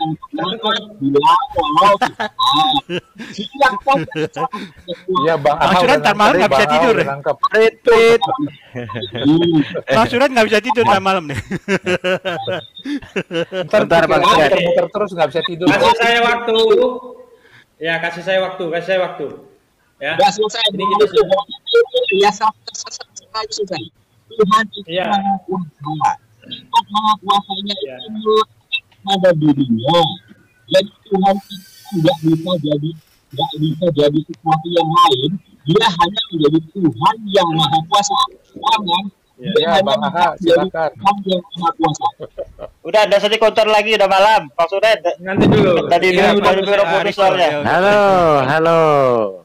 Selamat Tadi malam kembali ke moderator, kembali ke moderator. Silakan ke moderator. Iya, Selamat malam. iya. Selamat malam. Bang, Sabar dulu. Kas, ya. kasih waktu Silakan. saya ngomong dulu. Ya. Karena kita sudah mau 4 jam ini ya. Iya. Jadi eh, saya nanti terakhir ke Bang Liv Liv Is- Israel ya. Silakan Bang Liv Israel terakhir karena kita akan closing. Oke, terima kasih ya eh, Bang James eh, atas eh, waktunya. Salam ya buat eh, saudara saya Pak Aha juga Pak Antonius. Salam, salam. Eh, bro, Shalom. ya, Pak. Bro Palen juga salam bro. Eh, saya simpel aja Ya, ya salam. menjawabnya tentang eh, kenapa Tuhan harus menjadi manusia. Eh, mungkin Bro Palen eh, tahu ya tentang nubuatan pertama di dalam eh, kitab Kejadian. Itu tercatat di dalam eh, Kejadian 3 ayat yang ke-15. Nah, ini dasar pertama kenapa iman Kristen eh, mengatakan bahwa Yesus adalah firman yang telah menjadi manusia adalah saya baca ya Bro Palen eh, Bang James eh, Kejadian 3 ayat yang ke-15. Aku akan mengadakan permusuhan antara engkau dan per- Aku akan mengadakan permusuhan antara engkau dan perempuan ini keren eh, antara keturunanmu dan keturunannya. Keturunannya akan meremukan kepalamu dan engkau akan meremukan tumitnya. Nah, dasar itu keturunan perempuan otomatis keturunan dari seorang manusia. Nah, jadi itulah dasarnya iman Kristen mengatakan bahwa Yesus adalah firman yang telah menjadi manusia. Dengan kata lain, Allah bisa eh, mewujudkan dirinya menjadi seorang manusia. Oke, karena waktu singkat itu saja sementara dari saya. Silakan. Terima kasih, Bang Jim. Terima kasih, terima kasih ya. Terima Oke. kasih. Luar biasa ya. Ya, terima kasih ya, Pak Sampai- Pak Aristo, Bang Valen. Terima kasih, Pak Pak. Terima kasih, Pak Aristo. juga Pak Pak Bang Antonius. Antonius, Terima kasih, Bang Bang Valen. dan Pak Refta. Terima kasih Salam Pak ya. Iya, iya, iya. Oke, terima Pak kasih. Bobson dan Bang Sunet. Suret. Ya. Oke, terima kasih teman-teman sudah hadir di sini ya. Begitu juga dengan para audiens, terima kasih yang setia sampai dengan 4 jam mengikuti G Media Channel. Jangan lupa juga dukung channel BBS Official. Adi BSS. BSS. BSS, siap, siap. BSS, BSS Official. Iya, tapi sebelum ditutup Like. boleh boleh closing dulu Bang Aristo. Boleh, silahkan. Iya baik ya. Tadi luar biasa pembicaranya ya. Saya hanya mendengar, mengamati. Jadi sering kita lupa antara kodrat manusia dengan kodrat Tuhan itu, tu, eh, kodrat Allah itu sudah jauh beda ya. Manusia ciptaan, Allah sang pencipta. Itu kodrat yang tidak bisa dirubah, mau sampai kapan pun. Kemudian Allah itu adalah Allah yang eh, konsisten ya. Tuhan itu konsisten. Kenapa dia konsisten? Dia mengatakan hanya ada satu Tuhan yang patut disembah, yaitu aku. Ya, artinya Tuhan itu tidak akan mungkin merubah kodratnya. Tuhan tidak akan mungkin menjadi manusia karena dengan menjadi manusia kodratnya akan berubah. Tidak ada satupun manusia di dunia ini, dia manusia tapi kodratnya bukan manusia. Tidak ada ya. Ketika menjadi manusia, maka kodratnya manusia. Dan itu Tuhan tidak mungkin merubah kodratnya. Tetapi, apakah Tuhan bisa menampakkan diri berupa ya? Artinya berupa itu kita melihat seperti manusia itu terlepas dari kodratnya. Jadi bukan menjadi ya tapi berupa. Ya bisa. Bahkan ketika Musa di Gunung Sinai bertemu dengan Tuhan itu berupa semak berduri dan nyala api. Kalau kita katakan Tuhan menjadi semak duri tidak mungkin atau Tuhan menjadi nyala api tidak mungkin jadi bukan menjadi tapi menampakkan berupa karena kalau Tuhan menjadi manusia, kodratnya sudah pasti berubah. Dari sang pencipta menjadi ciptaan. Ini yang harus sama-sama kita cermati. Kemudian kalau ada yang mengatakan, ya Tuhan bisa menjadi manusia. Justru nanti kita terjebak. Berarti kalau bisa Tuhan langsung menjadi manusia, maka kenapa Yesus harus di kandungan, lahir, lalu menjadi manusia? Kenapa pada saat itu Tuhan tidak langsung jadi manusia juga? Begitu ya, seperti Abraham melihat sosok tiga orang itu tadi. Kalau kita katakan itu adalah wujud manusia, seperti yang ada di pikiran kita.